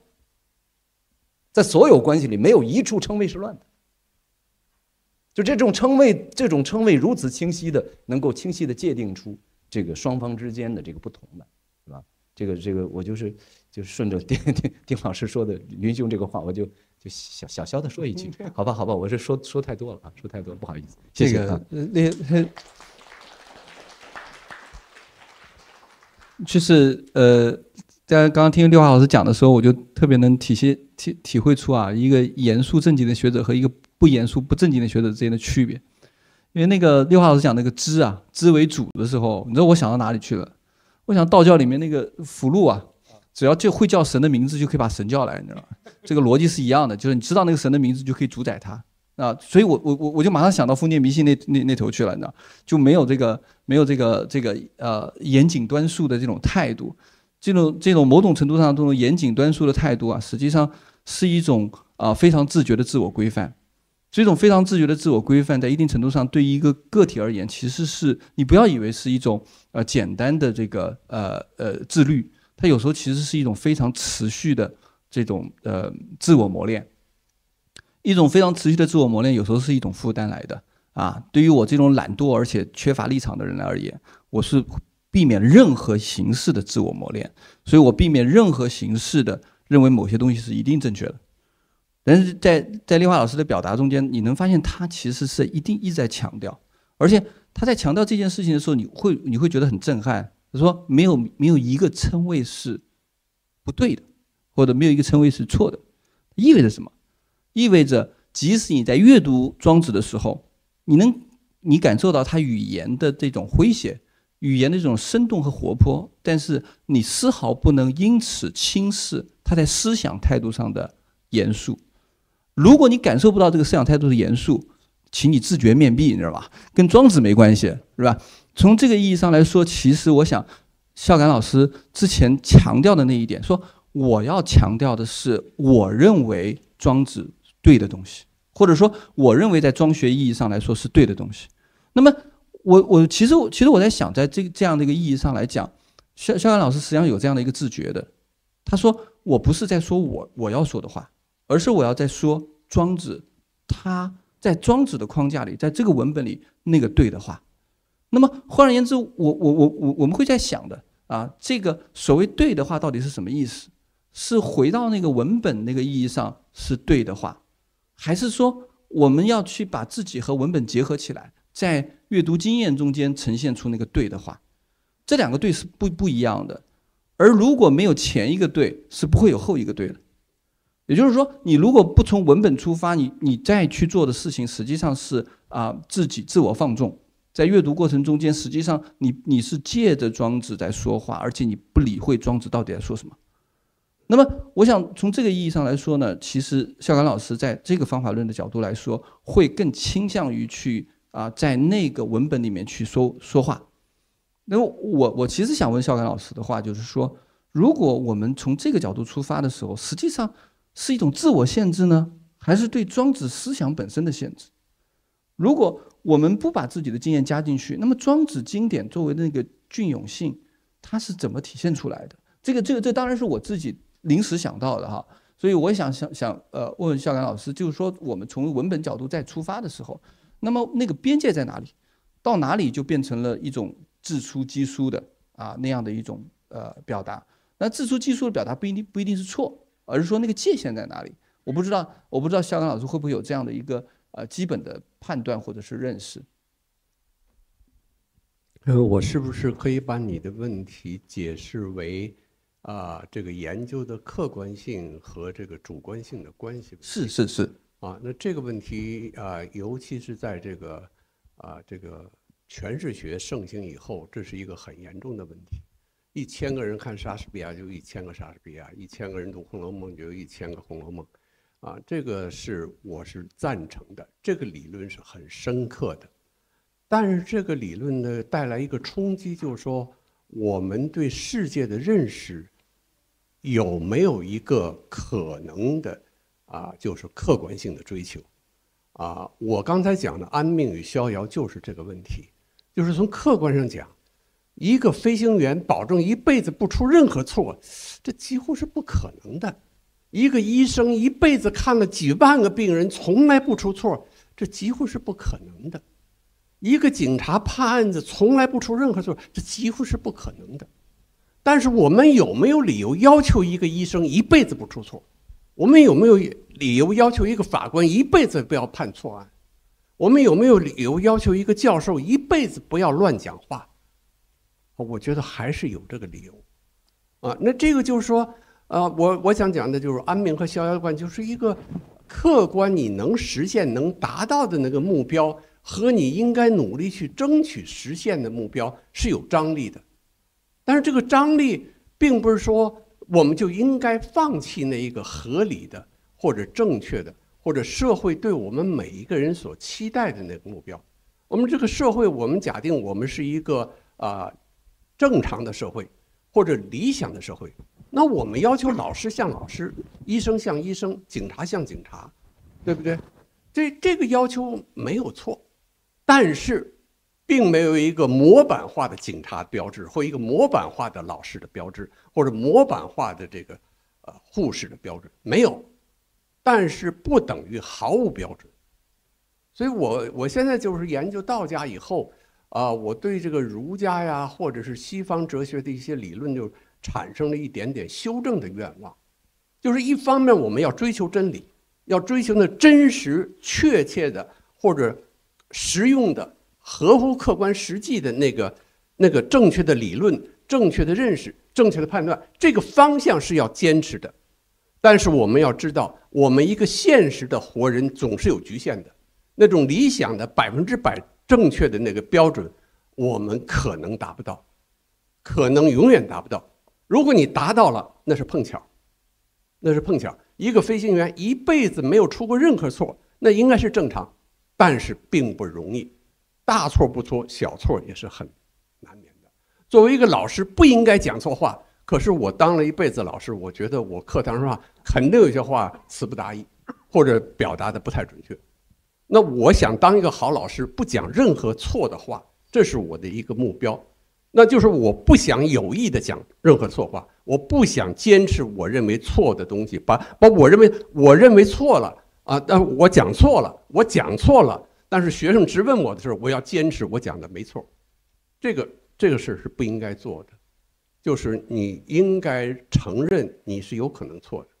那这个是这样的话，我们作为一个人呢，就是没不要给自己一个太大的压力，就是我不能有任何错误，啊，我不能有任何人批评我，不能有任何人对我不满，这个是做不到的，也不应该这么想。也许你真能做到，但是不是一个普遍的、绝对的普遍的性。但是这不等于意味着我是，反正我不可能不出错，我就多出点错吧，这个又不对了。所以我有一本书叫《两极化与分寸感》，啊，这是在我非常痛苦的时候这个写的这一本书。啊，算了，不要讲了。啊，这是这是我觉得我们在真实的生活中就是没有分寸感，斗争起来啊！你今天说你你独生子，你现在为什么生第二胎？我有一个同学叫刘海鸥，就是我们读硕士的时候，他就是想生第二胎。然后穿着个大棉袄，就把这个肚子给盖住了，然后悄悄地生了二胎，然后她丈夫就被停发奖金呐，开了批斗会啊，啊，在体育学院那块儿，他也反正也是，呃，也是党员嘛，反正你明知故犯嘛，是不对的。我我当时就觉得，这是你现在是一胎化，然后现在又鼓励二胎，是不是又要鼓励三胎呀？已经在鼓励了。那你你你总是绝对正确吗？你为什么你你有应该有政策，你应该有引导，但是应该给些活人有一个活的空间，不应该你定下来你就应该一米六，你一米七就错了，一米五就是不够。这这个真实生活、真实的世界不应该是这样的，不可能是这样的。可是我们作为一个有权利的人，就希望我的学生都应该怎么样，啊，我的员工都应该怎么样，啊，我的市民都应该怎么样。这种思维是非常常见的。那我现在一个简单化就说，这是一种两极化思维的一个表现。他只讲这一级标准的这一级，那另外一级就是说没标准，随便怎么样都行。那是我强调的是，在一切都对和一切都一定要有固定标准之间，我们要有一种分寸感。这个分寸感就是说，我不见得认为你是错了，但是我觉得你要讲个分寸，不要错得太过火。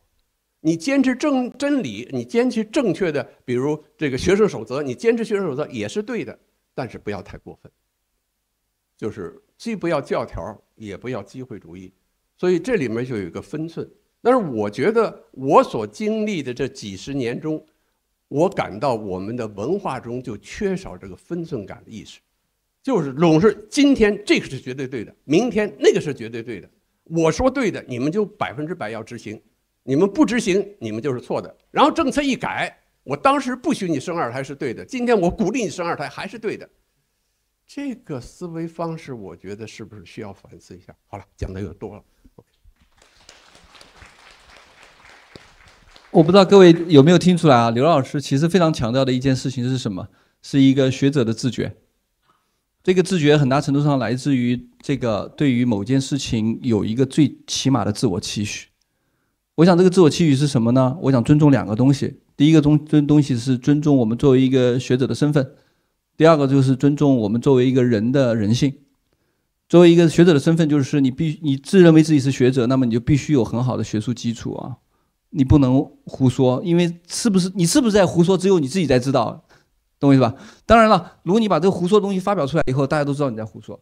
但是你你如果你自己一个人在胡思乱想的话，实际上你这个是不是胡思乱想，只有你自己才知道。那另外一方面，把这样的一种把这样的一种自觉和自我期许推推展出去的时候，其实就是推己及人嘛。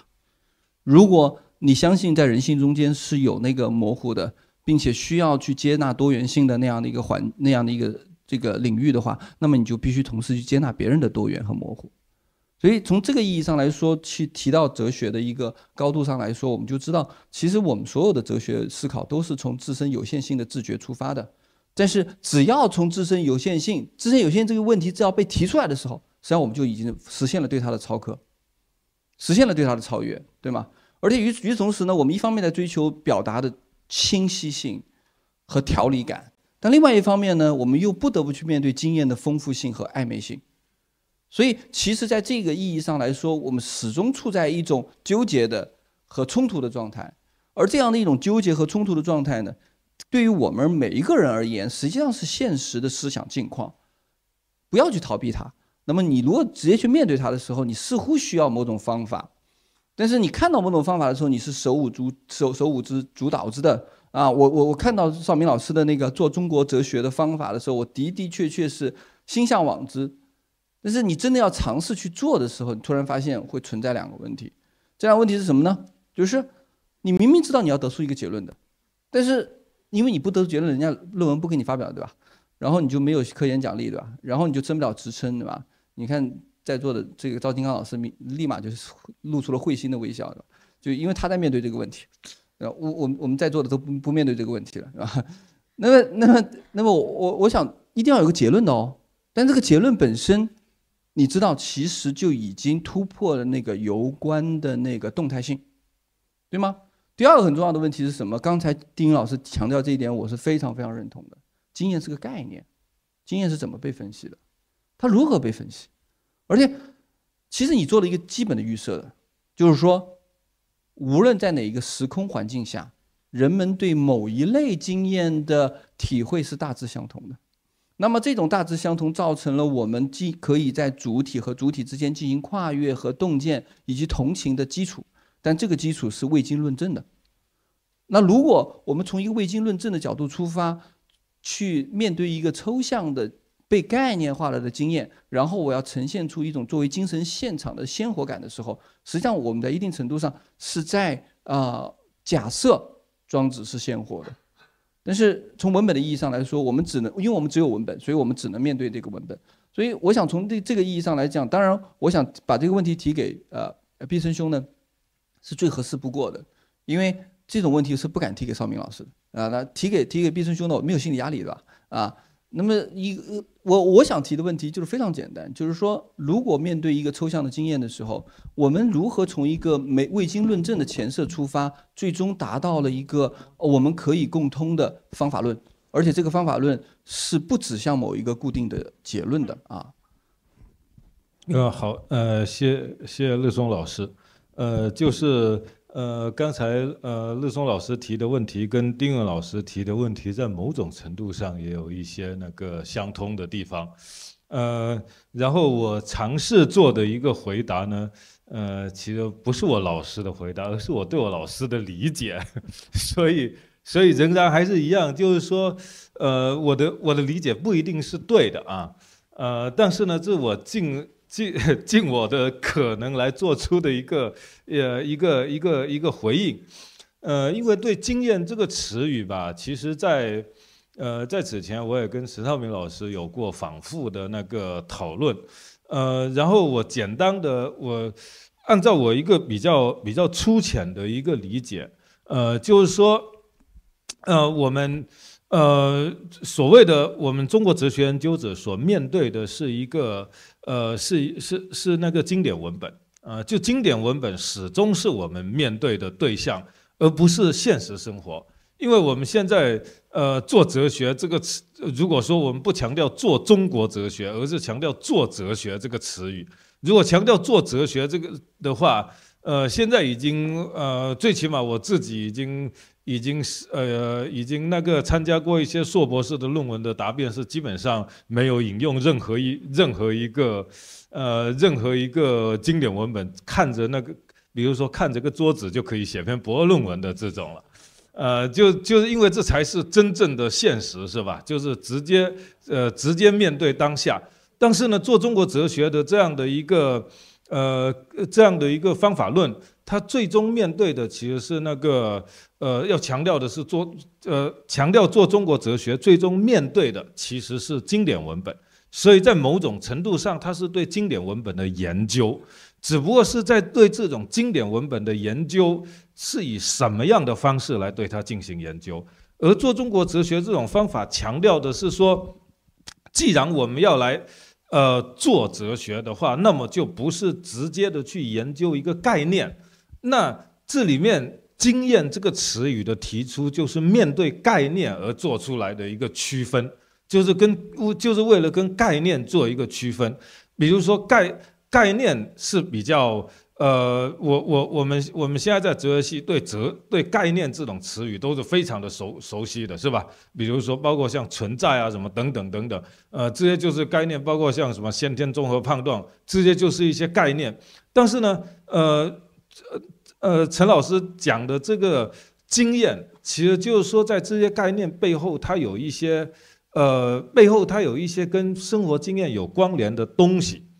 而这些东西。其实有点像乐松最近刚发表的那个论文里面所讲到的，就是呃怎么概念形成的观念形成的一个过程。因为一旦一个一个观念形成的过程，总会遮蔽生活经验中的很多相关的东西。所以呃我我理解的陈老师理解的呃陈老师所说的经验是在这个意义上讲的，而不是在那个呃比如说西方哲学里面讲到的一个特别。比如特别典型的一个关于对，比如说对经验的一个现象学描述啊，呃，就不完全是在这个角度，虽然也可以用对对，也可以用现象学的方式来理来理解，也可以，也是也是一种方式。但是作为整体的经验这个词语，不完全是呃在在这种意义上讲的，呃，所以呃，陈老师经常有一个有一个比喻，就是毕加索画牛的那个比喻。呃，就是说，经验的牛它是一个活牛，但是呢，如果是把它抽象化，把它抽象化，最终就抽象成为一个三角形。那我们当我们今天要来研究研究牛的时候，我们不能够研究那个三角形，我们要研究活牛。所以在这个意义上，呃，在从这个角度出发，就是做中国哲学，就做面向的这种经验跟跟那个抽象概念之间有一个有一个区别。然后呢？在这样的一个经验研究的基础上，会不会再走向抽象概念呢？呃，或者说走向体系建构？我觉得这是做中国哲学这种方法提供的，呃，在方法上提供的给我们，呃，为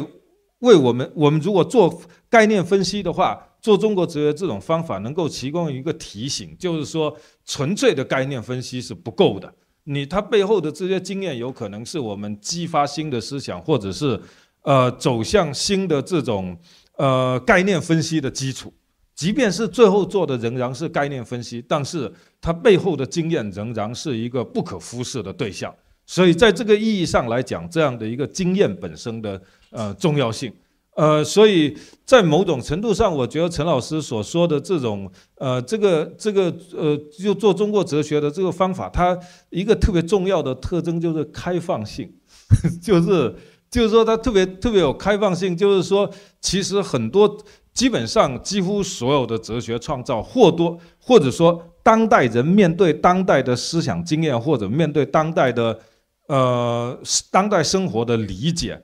进行的这种思想创造或者哲学创造，或多或少都有做中国哲学的这种这种因素在，只不过是它的因素占的占的比例有多大的问题，呃，所以所以所以这样的一个方法，就是说，他我我后来体会，就是说，觉得确实是特别就特别有开放性，有开放性到了有时候我都觉得开放性是有点问题的程度，就因为什么呢？因为呃，因为比如说，我们我们今天如果是来讲说那个儒家，就来讲专门的讲一家一家一派的话，那可能就是说，呃，要考虑到的一个问题就是说，这种方法如何帮助我们来做一家一派的那个呃哲学创造？那可能可能它提供的一个特别重要的一个意义就在于说，呃，你要更重要，你要更多的从某一家派的这样的一个。呃，经验出发来理解我们当下的生活。那我们当下的生活，其实理论上来说，它是它是去掉了这些不同的学派的，去掉了，它是它是它的前提是没有这些学派的，是吧？呃，所以所以这里面呃这里面就是说，他提呃我我理解的陈老师提的这样的一个方法，它是提供一个有点像一个共同的平台，呃，就是给。做中国哲学，就是说我们不仅仅是要进行哲学史的研究，更重要的是要强调哲学的创造。然后在这个哲学的创造的基础之上，要面对我们当下的经验来进行哲学创造。那在当下的经验的基础之上，是否比如说接受那个呃接受那个呃各家各派的，包括比如道啊，或者是礼啊等等这些概念，那其实是个人的事情，那是各个不同不同的事情。但是强调最最应该强调的就是它跟我们当下生活的关联，并不是天然的。就比如说呃，比如说我们说道，我们。我们当代生活天然有一个道，那那呃，可能做中国哲学这种方法，或者说经验这样的一个概念，就会会会不认同说我们天然有一个什么样的道是我是我们当下生活的根基，呃，所以我们必须在当下生活的基础之上，重新去建构一个新的道，比如像老丁的道体论这样子，呃，所以所以这是这是我的一个简单的一个理解吧，呃。行，这个我的回答就到这里。我觉得，我觉得，我不知道大家是不是会同意啊？毕生老师实际上在一一直在，只是没有说出来啊。刚才那个孝感老师讲到的那两个关键词，两句话与分寸感，对吧？就是你在经验的无限丰富性和概念的无限抽象性之间，你找到一个两极化的点，然后你要有分寸感嘛。经验本身这种还原，在某种程度上还原到什么什么层次上，对吧？呃，这句话说，这把这句话再翻译过来的时候，就是说，我已经告诉你两极化在哪里了。那分寸感呢？那纯粹看你自己了，对吧？如果你自己笨，这件事我也救不了你。但如果你足够聪明呢，你是可以掌握的。啊，我我我一直相信邵明老师表表现出来的那样的一种状态就是这样的，就是呃，师傅领进门，修行在个人。刚才说的那种开放性，哈。在我看来，其实是统合性的另一个表述方式而已。我们把开放性放到最大的时候，你就会发现它就是一种统合性。它其实是尝试去建立起一个完善的、可以把所有东西包摄在里面的东西。而在这个意义上来说呢，其实我虽然虽然我们今天在论庄学，但是我仍然要去强调这个庄学在活动性意义上，在这种活动性和它的思想活力的意义上。其实很大程度上跟丁云老师的那个三季是非常结合、非常结合在一起的。我看到那个既存有、既活动、既虚静的时候，然后就就又有一种感觉，就是说，完蛋了，没话可说了。他把所有东西都放在里面了，你还有什么搞头？就是你说你说把存有、活动、虚静都去掉，你还说什么？哲学被他说完了，没有搞头了，对吧？而且而且我我不知道各位是否是否会同意丁云老师那个方法中间有两个很关键的词，一个是判，一个是摄。就是就是就是判呢，实际上是要告诉你们，你们所偏之处在何在何；摄呢，就是我告诉你，我再建一大圈，如何可以将你所偏之处盖住，而且这种盖本身不是一种弥补，是一种重构。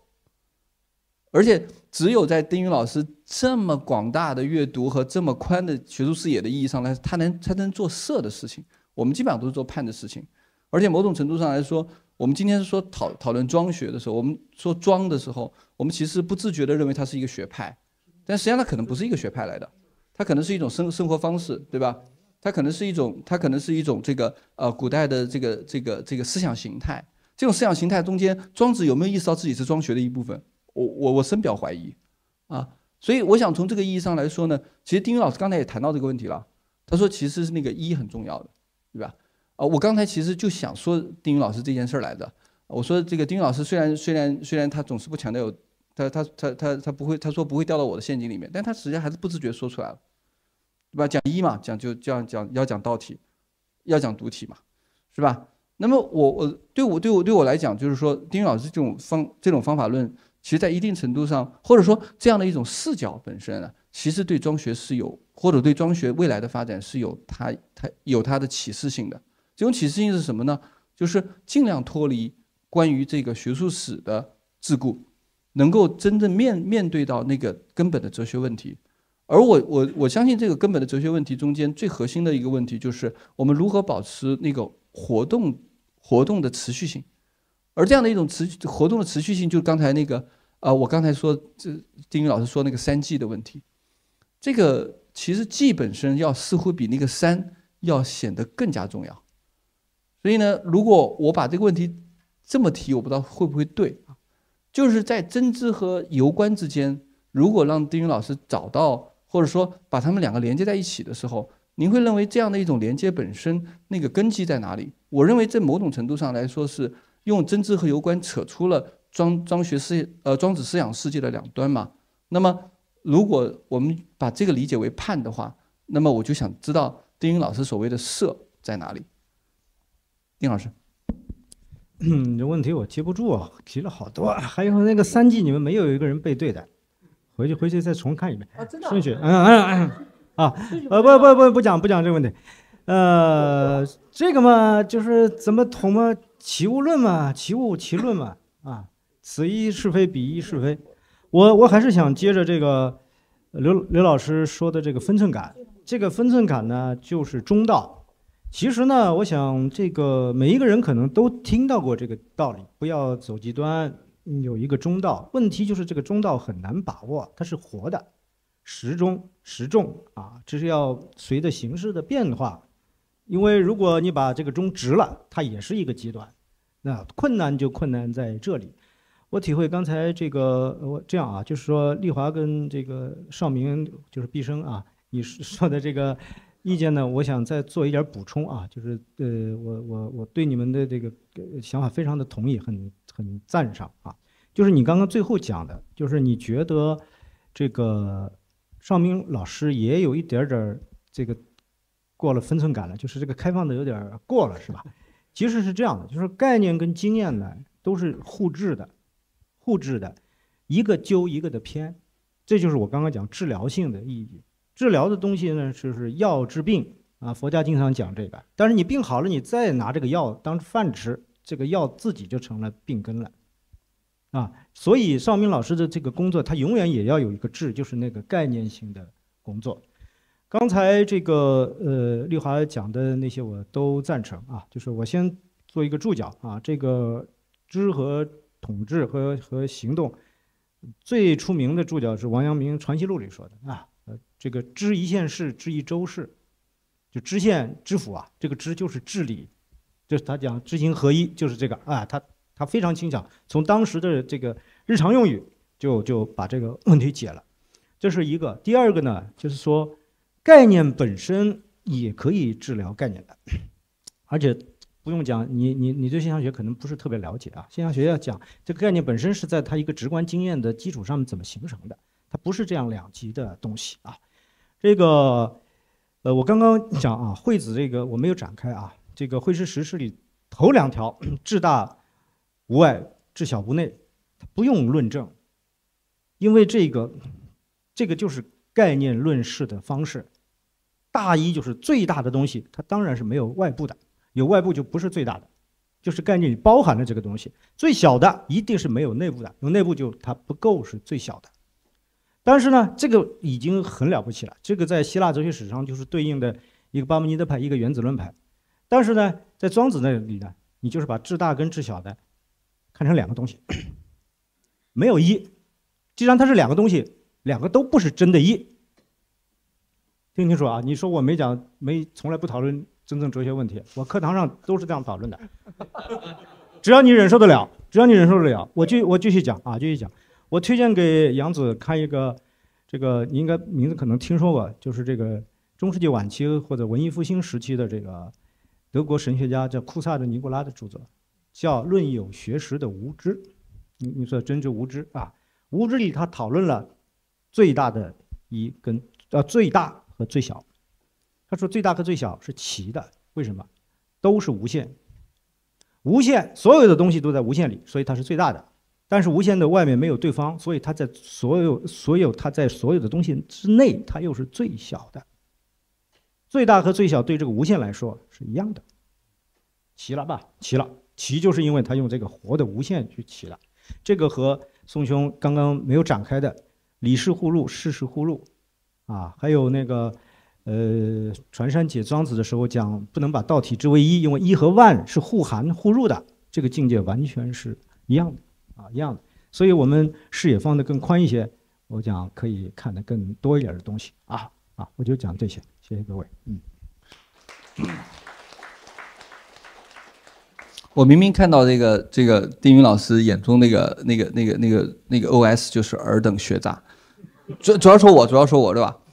而而且我我必须跟丁老师解释一下的说说那个哲学问题和关于哲学的问题是是我读丁老师那个在中国社会科学上呃二零一三年发那篇文章啊、那个强调的那我读到那句话的时候我真的是有醍醐灌顶的感觉，所以我们不要总是谈论哲学的问题，而要谈论关于哲学的问题。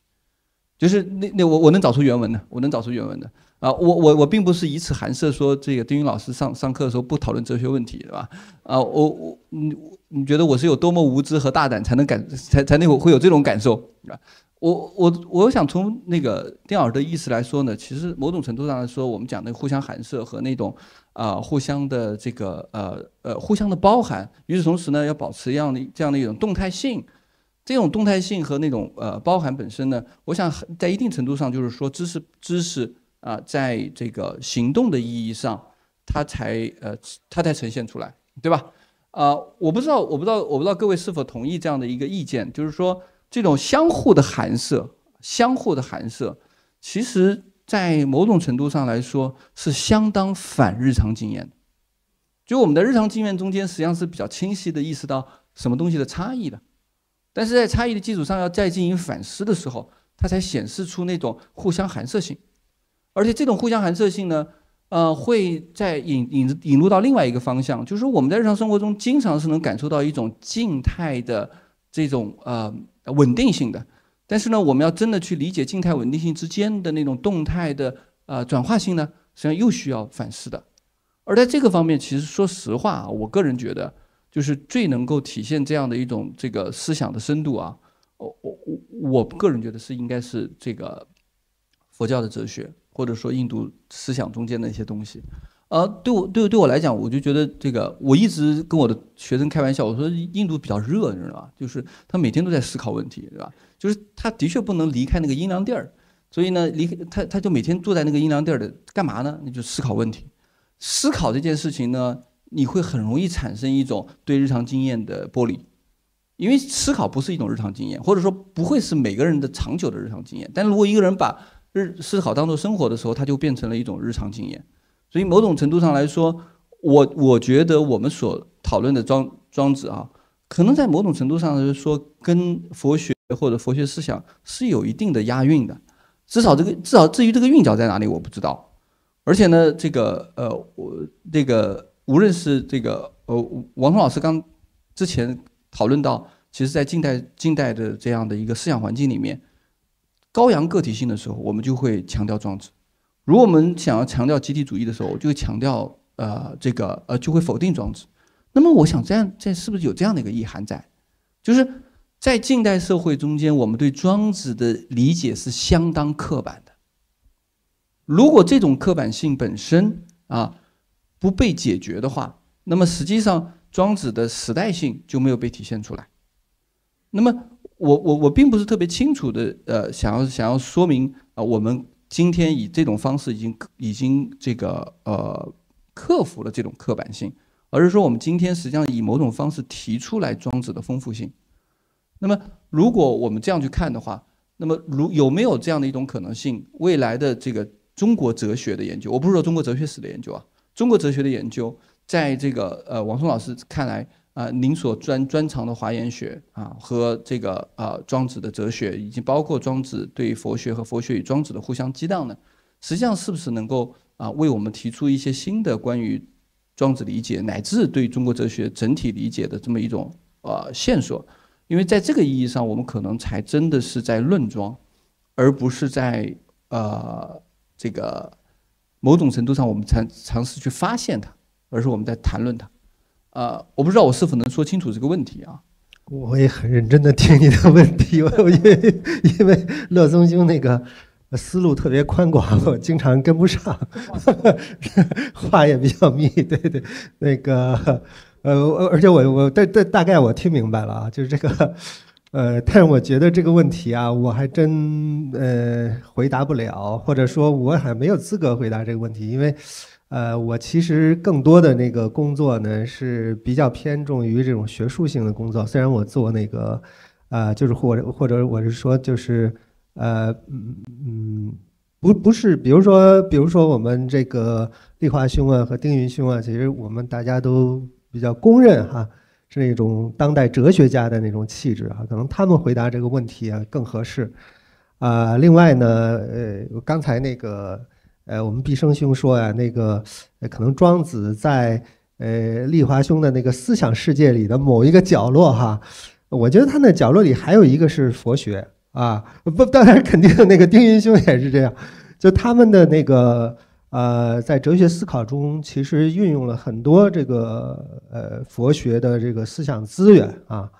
呃，这个我就不一一去举例了啊，其实太多了，因为我读他们的拜读他们的文章啊，经常呃能受到启发啊。当然，也另一方面呢，呃，就是说，可能也是因为我老戴着这个有色眼镜哈，有时候这个乐松，呃，跟我开玩笑说，你怎么看什么都 就是讲讲着讲着都讲到那个佛教哲学去了，可能因为我就懂那个，所以我我刚才就是说那个我我看啊，丽华兄讲的那个无知之知哈，他讲的这个他实际上是没有内容的哈，没有界定的等等。其实这个我就怎么看怎么像那个真如哈，怎么看怎么像那个真如，因为其实真如我们我们呃从厚德智的这个角度，我们是把它作为一个相分来去带相来观它的哈。其实严格意义上讲，它是没有相的，但是呢，我们又从言语，其实我们言说中逻辑中，我们又必须去说它是吧？但是从从从这个根本质的角度讲，它又是没有相的。我觉得跟这个很类似哈。当然，我不是说那个立华兄是受到了佛学的这个启发哈，呃呃，但是我觉得确实是有很多可以相互比较的地方啊。还有就是，呃，刚才丁云师兄说那个三季啊，说说他们都没不对哈，是不是既活动，呃呃，既存有，既虚静啊？我啊，既虚静在第一是吧？不，对对对，哎不，我想说的也不是想说这顺序，因为我也记不清楚啊。但我知道这这三个啊，呃，重点是说是那个记啊，这个是丁云兄自己都承认的是吧？这个记它其实里边有很大的佛学资源是吧？从天台的这个六记啊等等啊，所以这个例子举不胜举啊，举不胜举。当然那个呃，丽华兄他比较严肃哈，我们时间也是差不多，所以我就讲点他比较严肃，他比较严肃呢，他还。他他吸收了这个佛学的这个 很多的这个思想资源，但他还不是一个这个这个这个佛家啊，肯定不是个释家的人，对吧？所以如果他要是一个那个佛佛家的立场哈，从庄子到禅宗，所以刚才那个乐松兄问这个真知是什么哈，说这个问题到底可问不可问？那从禅宗来讲，就是佛祖西来意啊，这不可问 是吧？这就是佛祖西来意嘛，啊，所以我。哎，对，没揍你一顿就不错，是吧？你要问这个问题，就可以直接 直接放贺之，对，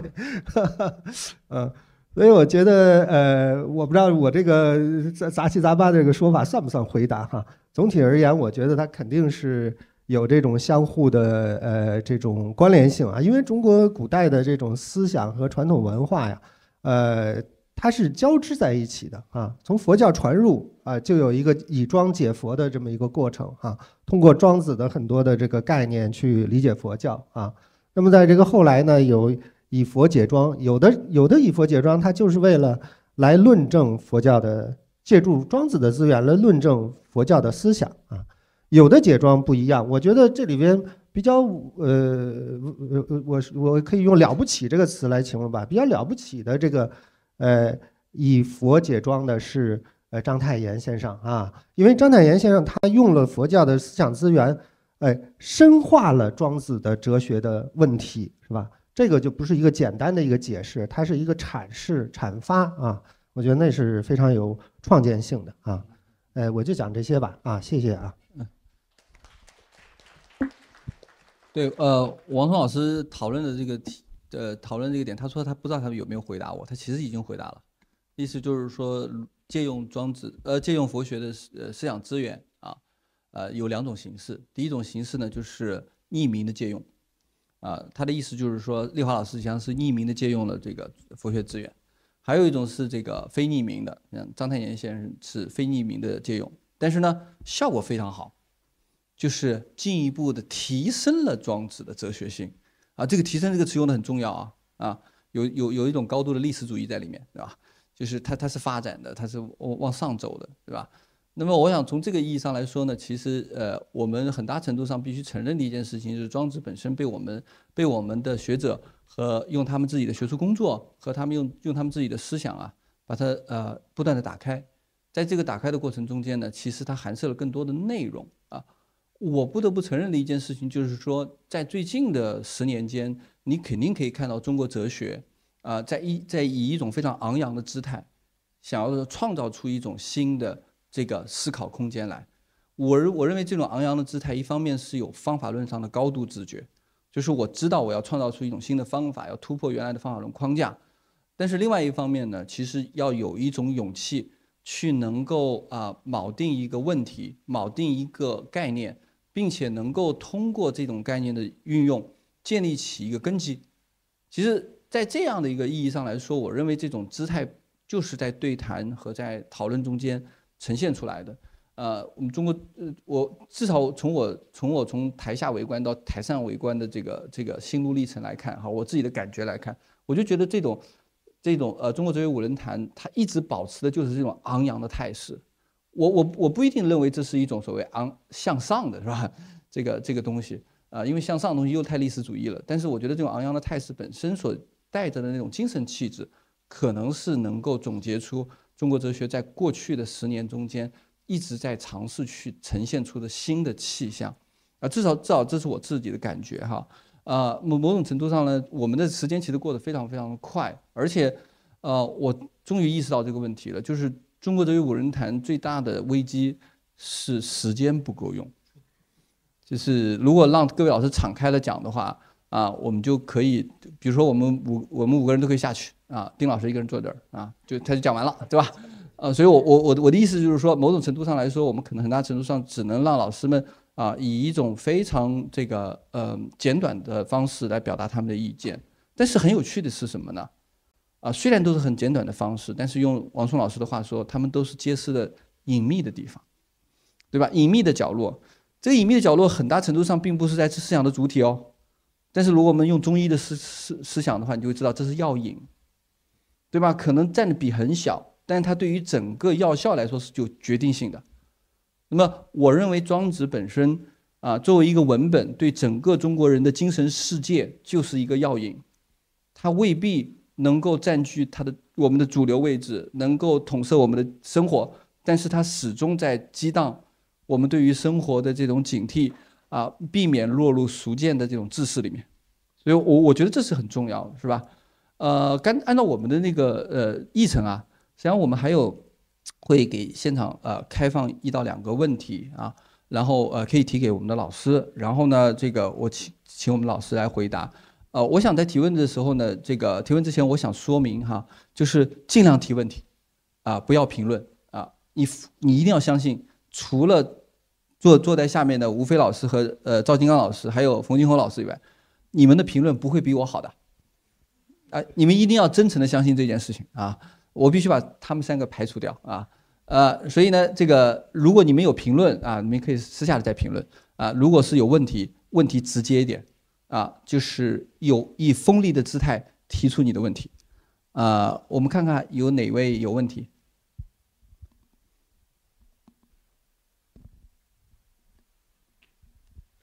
呃，我的问题主要是针对呃。丁云老师的一个问题是这样的，就是刚才丁云老师也提到了这个，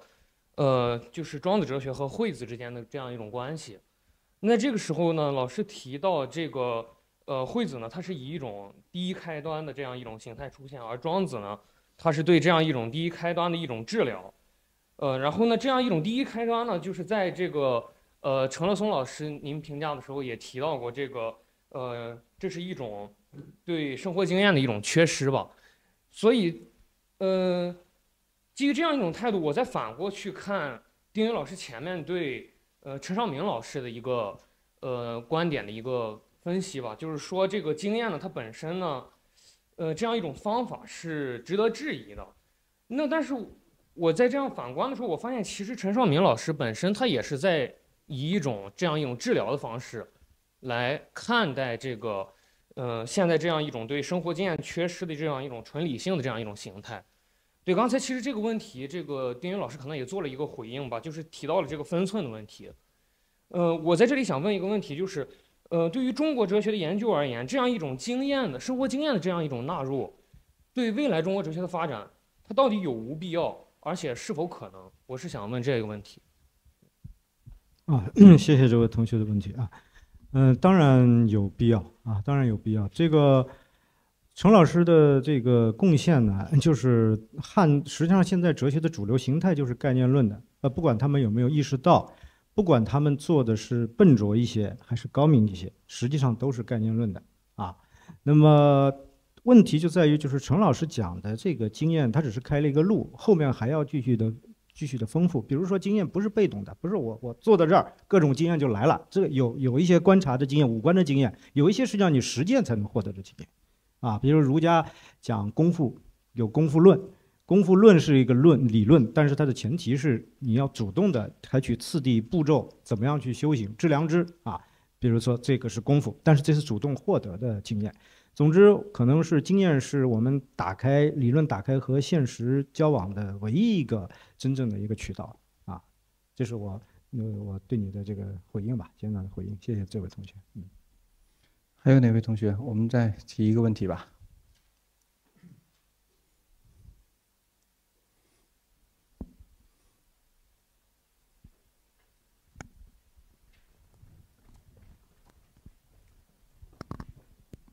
呃，谢谢老师们的今天的这个分享。我的问题是给杨老师的，就杨老师一直在强调说，我们在读庄子之前，要对庄子这个文本有一个足够尊敬的态度，这样的话，我们才能够对庄子抱着一个足够严肃和谨慎的这样一个阅读的方式，从而才能够呃真正的去看到它里面的一些洞见。我个人是很认同杨老师这个观点的，但我想问的是，就是说呃。在还没有阅读文本之前，就已经带了一个说他很伟大这样一个态度。呃，他是怎么能够获得这个合理性的？就万一这个文本它确实没那么伟大，但你还是当一个伟大的文本来读的话，会不会产生问题？这个是我的一个比较简短的问题，想问杨老师。那个，我我这个呃，借用这个呃是王同学哈，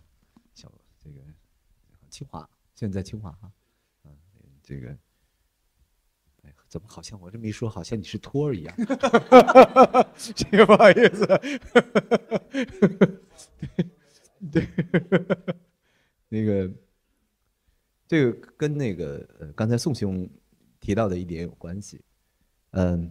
其实我在写《庄子哲学研究》这个书的时候，我显然是受到了齐物论式的深刻影响。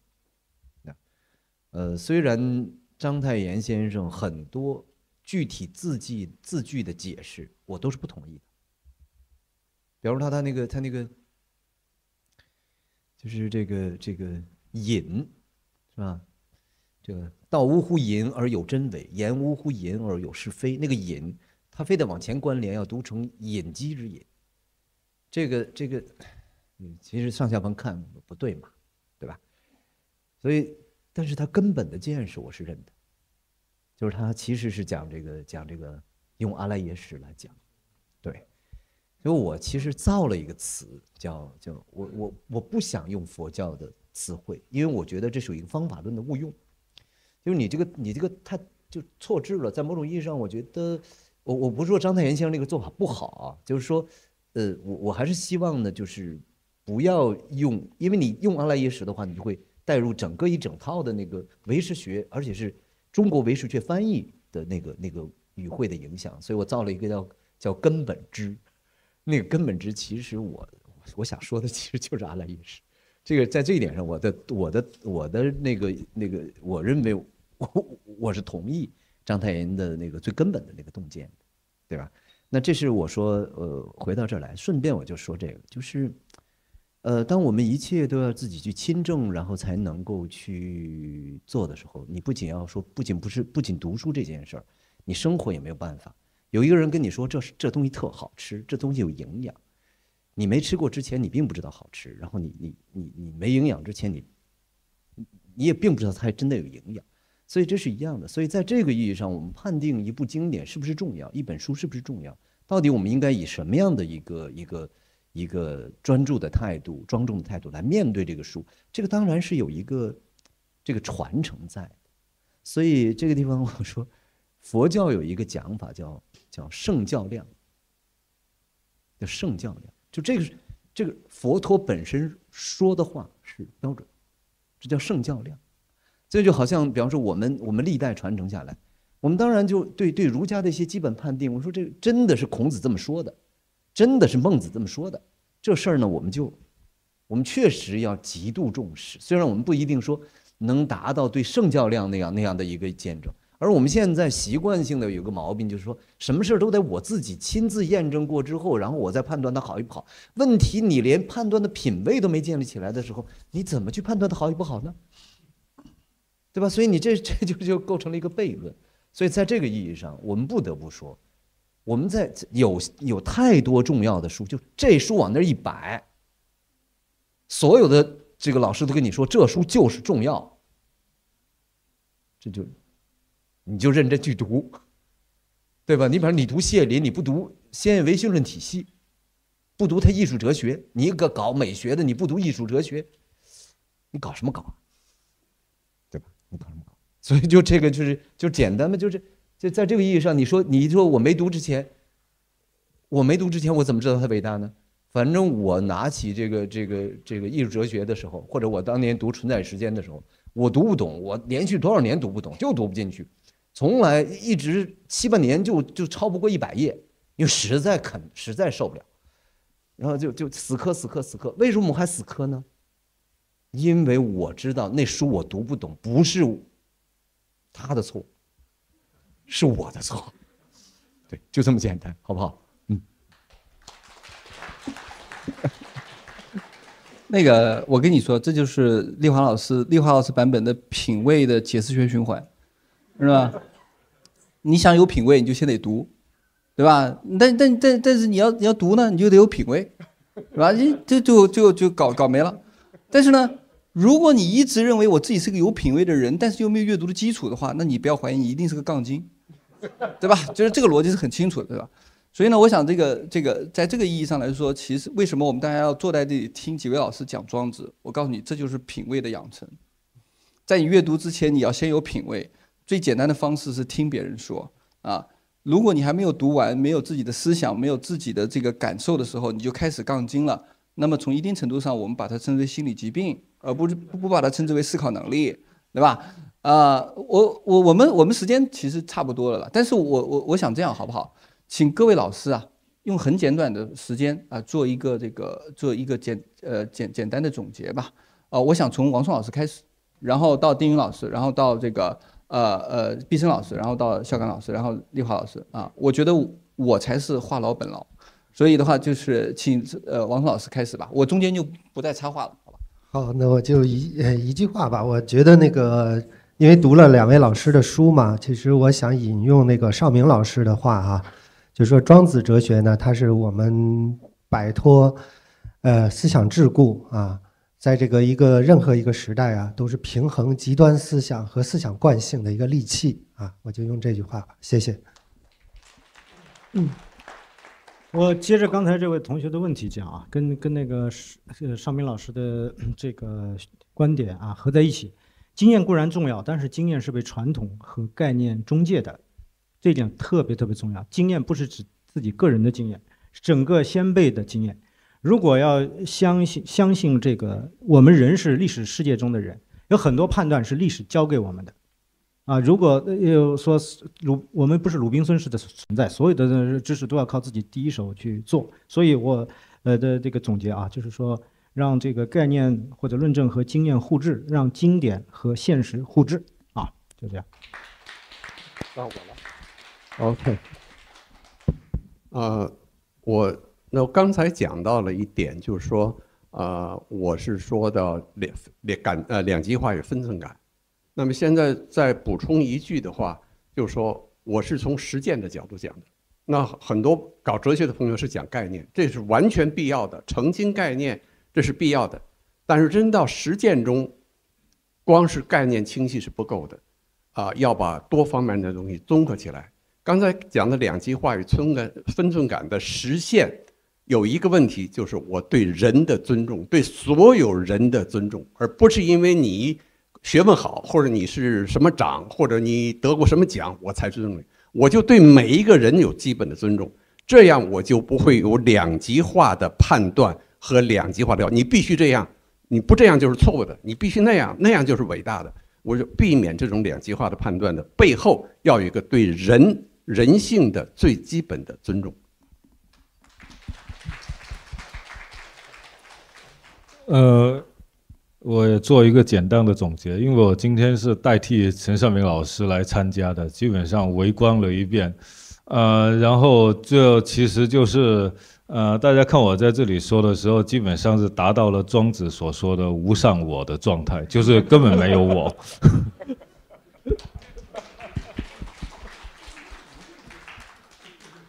呃，我就最后一呃，这这句话我说哈，那就。呃，我我读尚明兄的书的时候呢，我有一个感觉哈，就是，呃，看来一个人的饮食结构是影响一个人的著述方式的，是吧？这个因为我食物一向单一，所以我的我的著述形态呢就就比较刻板单一。呃，尚明兄应该是这个饮食的品味是非常丰富的。所以总体上是一个非常丰富的姿态，所以，呃，所以我们读书的时候，呃，要警惕啊饮食对自己啊思想形态的塑造。我把我把丽华老师话翻译一遍啊，就是吃货的体质有利于思想的深刻，是这意思吗？没这个，这是丽华老师的自谦之词。最后我还有三句话要说。呃，第一句话呢，就是首先要要要特别特别感谢三联书店，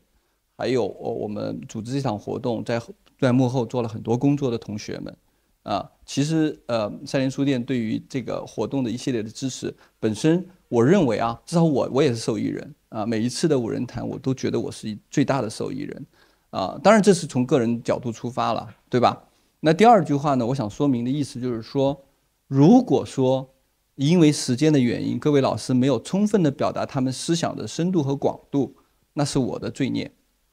但是呢，正是因为没有这种充分的表达，所以我们可以用你们自己的想象力去想象那个未尽之意，这又是我的功德。所以我相当于什么都没干，就是在这个有效的围观了一下。然后第三件事情，我觉得我们真的应该做到的事情是所有。对中国哲学和对中国的思想有兴趣，甚至有使命感的人，都应该学习这种昂扬的姿态，学习这种敢于探索的这种姿态和啊这种勇气。我想，在这个意义上，实际上我们才是在同一个平台上，用一个共同体的方式，在推进啊时代与经典的互治。我想，这个刚才这个丁云老师讲的这一点，我是完全完完全完全认同的。就是如果没有从经典出发的所有时代都是空洞的，